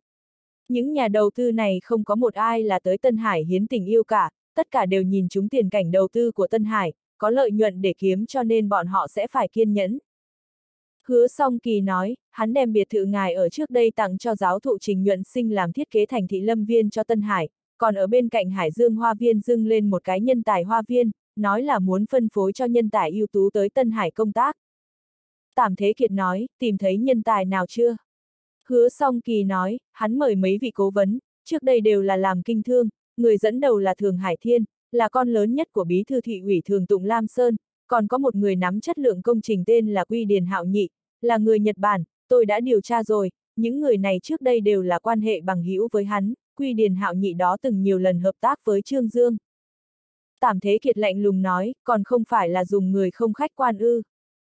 Hứa song kỳ nói, thị trường giao dịch ô tô sau khi bị hắn chỉnh đốn thì hiện tại thị trường tiêu điều đi rất nhiều, rất nhiều thương gia đã đóng cửa, hiện tại thị trường phía lâm mông rất tấp nập, trước đây căn bản không có cách nào so được với chúng ta, thị trường đang tốt thì bị hắn phá rối.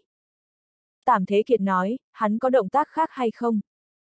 Hứa song kỳ lắc đầu, tinh lực chủ yếu của hắn vẫn là ở khu bảo lưu thuế nhập khẩu, đối với những chuyện khác không có quá nhiều hứng thú.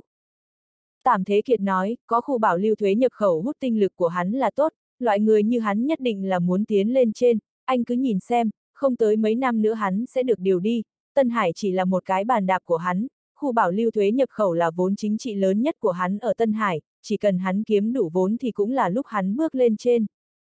Hứa song kỳ nói, tôi thấy hắn là mượn chuyện khu bảo lưu thuế nhập khẩu để nhân cơ hội khuếch trương thế lực của mình, xa lánh những người chúng tôi. Tảm Thế Kiệt nói, ai lên đài cũng sẽ phát triển thế lực của mình, song kỳ, bí thư hạng đối với chuyện Tân Hải cũng chẳng quan tâm, chúng ta có năng lực làm gì chứ? Cứ tính quan kỳ biến là được rồi. Nói xong y lại bổ sung, giữ chắc ngư giường của mình, những chuyện khác cứ mặc hắn đi.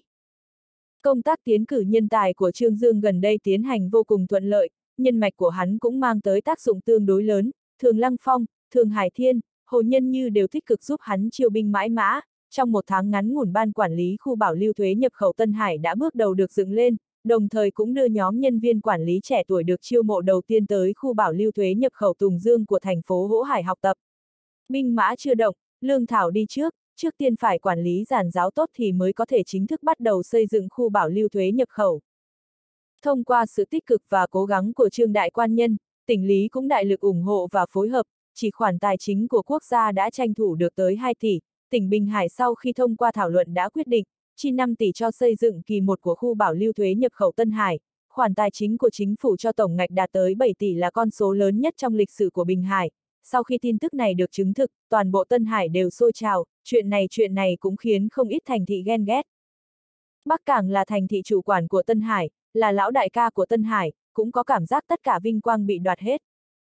Bí thư thị ủy hạng thành tâm tình không được tốt, trên cuộc họp thường ủy y truyền đạt bản văn kiện này cho mọi người, hiện trường rất yên tĩnh, đa số người đều trầm tư, sau khi hạng thành đọc xong văn kiện thì y cười nói, ngân sách 7 tỷ của chính phủ là có 102 trong lịch sử Bình Hải, bởi vậy có thể thấy được, lãnh đạo thượng cấp rất coi trọng khu bảo lưu thuế nhập khẩu Tân Hải, chính bởi vì vậy, chúng ta cần phải hoàn thành xây dựng khu bảo lưu thuế nhập khẩu thật tốt, phải giao cho quốc gia, cho lãnh đạo, cho toàn thể người dân một đáp án hài lòng. Thị trưởng Cung Hoàn Sơn thầm than trong lòng, khu bảo lưu thuế nhập khẩu Tân Hải làm tốt đến mấy cũng chẳng liên quan chó gì tới tôi. Mặt mũi là của Trương Dương, chính thích là của Trương Dương, tỉnh lý lần này chi mạnh tay như vậy còn không phải bởi vì Trương Dương là con rể của bí thư tỉnh ủy Tống Hoài Minh ư. Có ngân sách 7 tỷ, một thị trấn nhỏ kiểu chó gì chả phát triển được, Tân Hải có thể nói là nhất thời phong quang vô nhị, nhưng Bắc Cảng thân là thành thị thượng cấp thì trở nên ảm đạm. Cung Hoàn Sơn không phải thiếu cái nhìn đại cục, hắn là cảm thấy chuyện này ngay từ đầu đã thoát khỏi sự khống chế của bọn họ, sau khi Trương Dương tới Tân Hải, Tân Hải dưới sự thao túng của hắn dần dần trở thành một vương quốc độc lập, càng chạy càng xa khỏi Bắc Cảng, hắn thậm chí cho rằng mục đích cuối cùng của Trương Dương là tách Tân Hải ra khỏi Bắc Cảng. Hạng Thành nói, quốc gia và tỉnh lý đều ủng hộ đối với xây dựng khu bảo lưu thuế nhập khẩu như vậy, chúng ta đương nhiên không thể thờ ơ, tuy rằng tài chính của Bắc Cảng rất khẩn trương, nhưng chúng ta cũng phải ủng hộ xây dựng khu bảo lưu thuế nhập khẩu trong khả năng. Hạng Thành khi nói ra những lời này trong lòng tràn ngập bất đắc dĩ, trong chuyện này y phải bỏ tiền, quốc gia đã bỏ tiền rồi, tỉnh lý đã bỏ tiền rồi, anh thân là thành thị thượng cấp anh không bỏ chút tiền thì biết ăn nói thế nào. Người khác sẽ không nghĩ là phương diện tài chính của anh khó khăn, chỉ biết lòng dạ của anh hẹp hói. Y nói xong những lời này, ánh mắt dừng ở trên người cung Hoàn Sơn, Hoàn Sơn à, anh nói đi, với tình huống tài chính trước mắt của Bắc Cảng thì cho khu bảo lưu thuế nhập khẩu bao nhiêu tiền là thích hợp. chương 1570, Giám thị 2 Cung Hoàn Sơn nghĩ thầm, một phân tiền cũng không cho mới là tốt nhất, cho dù là cho một xu thì cũng là may áo cho người khác, nhưng hắn cũng hiểu tình hình trước mặt, hạng thành cũng không muốn bỏ tiền, nhưng tình thế bức bách anh không bỏ không được, đây là lúc phải tỏ thái độ. Cung Hoàn Sơn nói, tình hình tài chính của thị lý không quá lạc quan, nhưng chuyện xây dựng khu bảo lưu thuế nhập khẩu phải ủng hộ, tôi thấy bỏ 100 triệu đi. Hắn là cắn răng nói ra con số này, quốc gia bỏ 2 tỷ, tỉnh lý 5 tỷ, tới thị lý cho dù là nghèo đến mấy cũng không thể chỉ bỏ ra mấy ngàn vạn, 100 triệu. Những thường ủy khác đều không nói lời nào, phương diện tài chính luôn là hai người hạng thành và cung hoàn sơn nắm giữ, cho bao nhiêu thì do bọn họ định đoạt. Hạng thành nói, tôi thấy hay là 200 triệu đi, tuy rằng tài chính Bắc Cảng trước mắt tồn tại rất nhiều khó khăn nhưng đối với xây dựng khu bảo lưu thuế nhập khẩu chúng ta vẫn phải ủng hộ toàn lực. 200 triệu trong xây dựng khu bảo lưu thuế nhập khẩu không đáng kể chút nào, nhưng đối với bọn họ mà nói thì đúng là lòng đau như cắt. Bí thư Ủy ban kỷ luật Trần Cương nói, quốc gia quyết định thiết lập khu bảo lưu thuế nhập khẩu ở Tân Hải, đối với Bắc Cảng mà nói là chuyện tốt, có thể đoán được, trong mấy năm tương lai, xây dựng khu bảo lưu thuế nhập khẩu chắc chắn sẽ trở thành trọng yếu nhất, đối với Tân Hải mà nói có nghĩa là một lần phát triển cao và cũng là một cơ hội bay lên, nhưng tôi ngoài vui mừng ra thì cũng chút lo lắng. Nói tới đây hắn cố ý tạm dừng một chút. Hạng Thành mỉm cười gật đầu, ý bảo Trần Cương nói tiếp. Trần Cương nói, Tân Hải quá nghèo rồi, hiện tại bỗng nhiên từ trên trời giáng xuống vài tỷ, tiếp theo sẽ là bắt đầu chiêu thương dẫn tư, thậm chí sẽ có mấy chục tỷ mấy trăm tỷ, đối diện ngân sách và tiền mặt nhiều như vậy, những cán bộ này của Tân Hải có thể bảo trì tâm tính ổn định hay không, bọn họ có năng lực vận tác khoản tiền lớn này không? Cung Hoàn Sơn nói, Lão Trần nói không sai, tôi cũng có băn khoăn đồng dạng. Lấy Trương Dương mà nói, hắn trẻ tuổi như vậy, mặc dù có chút năng lực, nhưng phương diện kinh nghiệm quản lý thì vẫn kém những lão đồng chí, liệu có thể gánh được trách nhiệm nặng nề như vậy không? Hạng thành thầm nghĩ trong lòng, đã trở thành sự thật rồi, những lời thừa thãi của các anh có tác dụng gì? Có điều y vẫn chuẩn bị tiếp tục nghe. Trần Cương nói, tôi cho rằng, trong tương lai trong xây dựng khu bảo lưu thuế nhập khẩu phải cần có một bộ môn giám thị hữu hiệu, giám sát sử dụng những ngân sách này, chỉ có cơ giám thị hữu hiệu mới có thể khiến những cán bộ trẻ tuổi này bảo trì được đầu óc tỉnh táo, mới có thể bảo đảm công tác không sai lầm. Trong lòng hạng thành khẽ động, y nâng chung trà lên chậm rãi nhấp một ngụm. Trần Cương tiếp tục nói, giám thị mà tôi nói là một loại giám thị phụ trách, chẳng những phải giám thị toàn trình xây dựng khu bảo lưu thuế nhập khẩu Tân Hải còn giám thị tất cả sử dụng tài chính. Tôi lấy ví dụ, nếu so sánh Bắc Cảng là cha mẹ, Tân Hải chính là con của Bắc Cảng, hiện tại Tân Hải giống như là một đứa con đột nhiên có gia tài bạc triệu. Không ít thường ủy ở hiện trường phát ra tiếng cười. Trần Cương nói, mọi người đừng cười, có thể là sự so sánh của tôi không phải quá thỏa đáng, nhưng Tân Hải là một bộ phận của Bắc Cảng, chúng ta cần phải giúp Tân Hải làm tốt công tác giám thị, cái này không có nghĩa là chúng ta muốn can thiệp vào tài chính của Tân Hải, thật ra dám thì cũng không phải vì là muốn kiếm chắc gì, chúng ta phải giúp Tân Hải học tiêu tiền, tiêu tiền một cách hợp lý mới không lãng phí một phân tiền của quốc gia. Trần Cương tuy rằng nói chấn chấn hữu từ, nhưng tất cả mọi người đều nghe ra Trần Cương là muốn lợi dụng cơ hội này để đi giày cho Tân Hải. Phó Bí Thư Thị ủy tưởng Hồng Cương Thủy Trung không nói gì, trong lòng thì cười thầm, Trần Cương dũng là một tên tiểu nhân đúng nghĩa, tự cho là chủ ý của hắn rất cao minh, lại xem nhẹ đối tượng hắn muốn giám thị là ai. Trương Dương là người thế nào chứ? Há lại dễ đối phó dễ dàng như vậy, khu bảo lưu thuế nhập khẩu từ chủ bị đến báo xin phê chuẩn, đến phê chuẩn xây dựng, có trải qua sự đồng ý của Bắc Cảng không? Hiện tại ngân sách quốc gia được gửi xuống, anh đề xuất giám thị, còn không phải là đeo vòng kim cô cho con khỉ này ư, anh thực sự cho rằng mình là quan thế âm à. Loại người như Trương Dương Anh có thể giám thị được ư. Nhìn ra được hạng thành đang cân nhắc rất nghiêm túc, Trần Cương nói xong y suy nghĩ trong chốc lát mới gật đầu nói, lão Trần nói không sai, là bộ môn thượng cấp, chúng ta phải làm tốt công tác giám thị, giúp Tân Hải xây dựng tốt, phát triển tốt khu bảo lưu thuế nhập khẩu. Trương đại quan nhân gần đây bận tiếp đãi quan khách từ bốn phương tám hướng, Duvo và vợ chồng Chu Tiếu Vân đã đáp ứng lời mời tới Tân Hải, Trương Dương cũng an bài cho bọn họ vào ở Hải Dương Hoa Viên. Hải Dương Hoa Viên chỉ có khoảng 70% là có người ở, Trương Dương bảo người quét dọn sạch sẽ tất cả biệt thự còn trống, đặc biệt để tiếp đãi khách quý.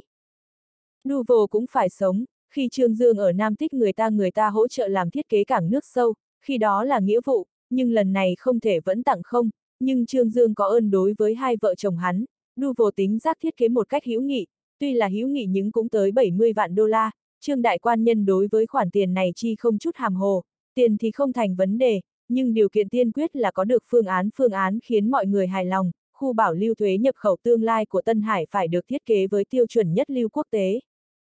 Dù sao hiện tại có ngân sách 7 tỷ của quốc gia, trong lòng cũng vững tâm hơn nhiều, có điều khoản tiền này vẫn chưa tới nơi. Nhưng người ta sợ nhất là so sánh, tuy rằng Trương Dương nghiêm khắc giữ bí mật chuyện phí thiết kế của Duvo, nhưng vẫn có tin tức truyền ra ngoài, hơn nữa truyền tới tai Trình Mẫn, cô ta sau khi biết được tin tức này thì ngay lập tức tới văn phòng của Trương Dương. Phó Trường Trinh không ngăn được cô ta, Trình Mẫn hùng hổ đẩy cửa bước vào. Trương Dương đang ở trong văn phòng thảo luận chuyện khu bảo lưu thuế nhập khẩu với Thường Hải Thiên, nhìn thấy Trình Mẫn vẻ mặt hầm hầm bước vào, cũng không khỏi sửng sốt, Phó Trường Trinh đi theo sau xấu hổ bước vào. Trương Dương lập tức minh bạch Phó Trường Trinh không ngăn được cô ta, phất tay bảo Phó Trường Trinh ra ngoài trước, mỉm cười nói mỉm cười nói, Trình Tiểu Thư, ngọn gió nào thổi cô tới đây vậy, mời ngồi. Trình Mẫn nhìn thẳng vào Trương Dương, nói, Bí Thư Trương, tôi hôm nay tới là muốn chứng thực một chuyện, tôi nghe nói anh trả phí thiết kế cho thiết kế sư Australia là 70 vạn đô la, không biết chuyện này có thật hay không. Trương Dương hơi ngẩn ra, hắn lập tức minh bạch mục đích lần này tới đây của Trình Mẫn, hắn cười nói, có chuyện như vậy thật. Trình Mẫn mắt phượng trợn lên, bí thư trương, tôi muốn hỏi anh, vì sao trong ngoài khác biệt như vậy? Chẳng lẽ thiết kế của người ngoại quốc đáng giá, tâm huyết của cha tôi thì rẻ vậy ư? Trương Dương mỉm cười nói, Trình Tiểu Thư, cô trước tiên ngồi xuống đã, chuyện này cô hãy nghe tôi giải thích.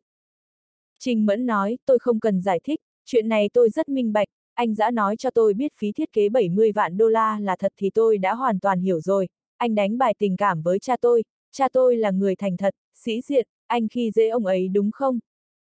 Trương Dương cười ha ha, nói, sao lại có chuyện như vậy, tôi đối với giáo thụ trình trước giờ luôn rất tôn kính. Tôn kính có ích lợi gì? Chỉ là miệng nói những lời ngon ngọt mà thôi, cha tôi vì chuyện của Tân Hải các anh mà chạy đi chạy lại bao nhiêu chuyến, làm bao nhiêu thiết kế, nhưng các anh thì hay rồi, trả cho ông ấy một vạn đồng. Bắt đầu từ thành thị xanh hóa của các anh, cha tôi cứ như là người của Tân Hải các anh. Chẳng những quản thiết kế, còn phải tới công trường giám sát tình huống thi công, ông ta được gì? Còn không phải là vì nể mặt Thường Hải Long ư, nhưng tình cảm thì tình cảm, các anh cũng không thể khi dễ người ta như vậy, thiết kế của người ngoại quốc đáng giá, thiết kế của cha tôi hắn không đáng một đồng ư. Trương đại quan nhân bất giác có chút đau đầu, hắn nhìn Thường Hải Thiên như xin giúp đỡ, Thường Hải Thiên và Trình Mẫn cũng không quen nhau lắm, chỉ có cười khổ, nhưng hắn đã có mặt thì dù sao cũng phải lên tiếng, hắn cười nói, Trình Tiểu Thư, cô hiểu lầm rồi. Trình Mẫn chừng mắt lườm hắn một cái, chuyện này không liên quan tới anh, anh đừng có xen vào. Trương Dương nói, Trình Tiểu Thư, những gì mà giáo thụ Trình làm cho Tân Hải tôi đều thấy rất rõ, tôi trước giờ luôn tôn kính ông ấy, về phần thù lao, tôi thừa nhận tôi trả hơi ít, nhưng đây cũng không phải là bản ý của tôi, là giáo thụ Trình kiên trì không nhận. Trình Mẫn nói, cha tôi tai mềm, không chịu nổi mấy câu ngon ngọt của các anh, không thu tiền cũng được, làm không công cho các anh cũng được, nhưng các anh phải biết xử lý sự việc công bằng chứ, không thể kéo tranh lệch lớn như vậy, người ta là chuyên gia ngoại quốc thì trả cao như vậy, cha tôi là gì? Lao động giá rẻ à? Audio điện tử võ tấn bền Hết chương 1570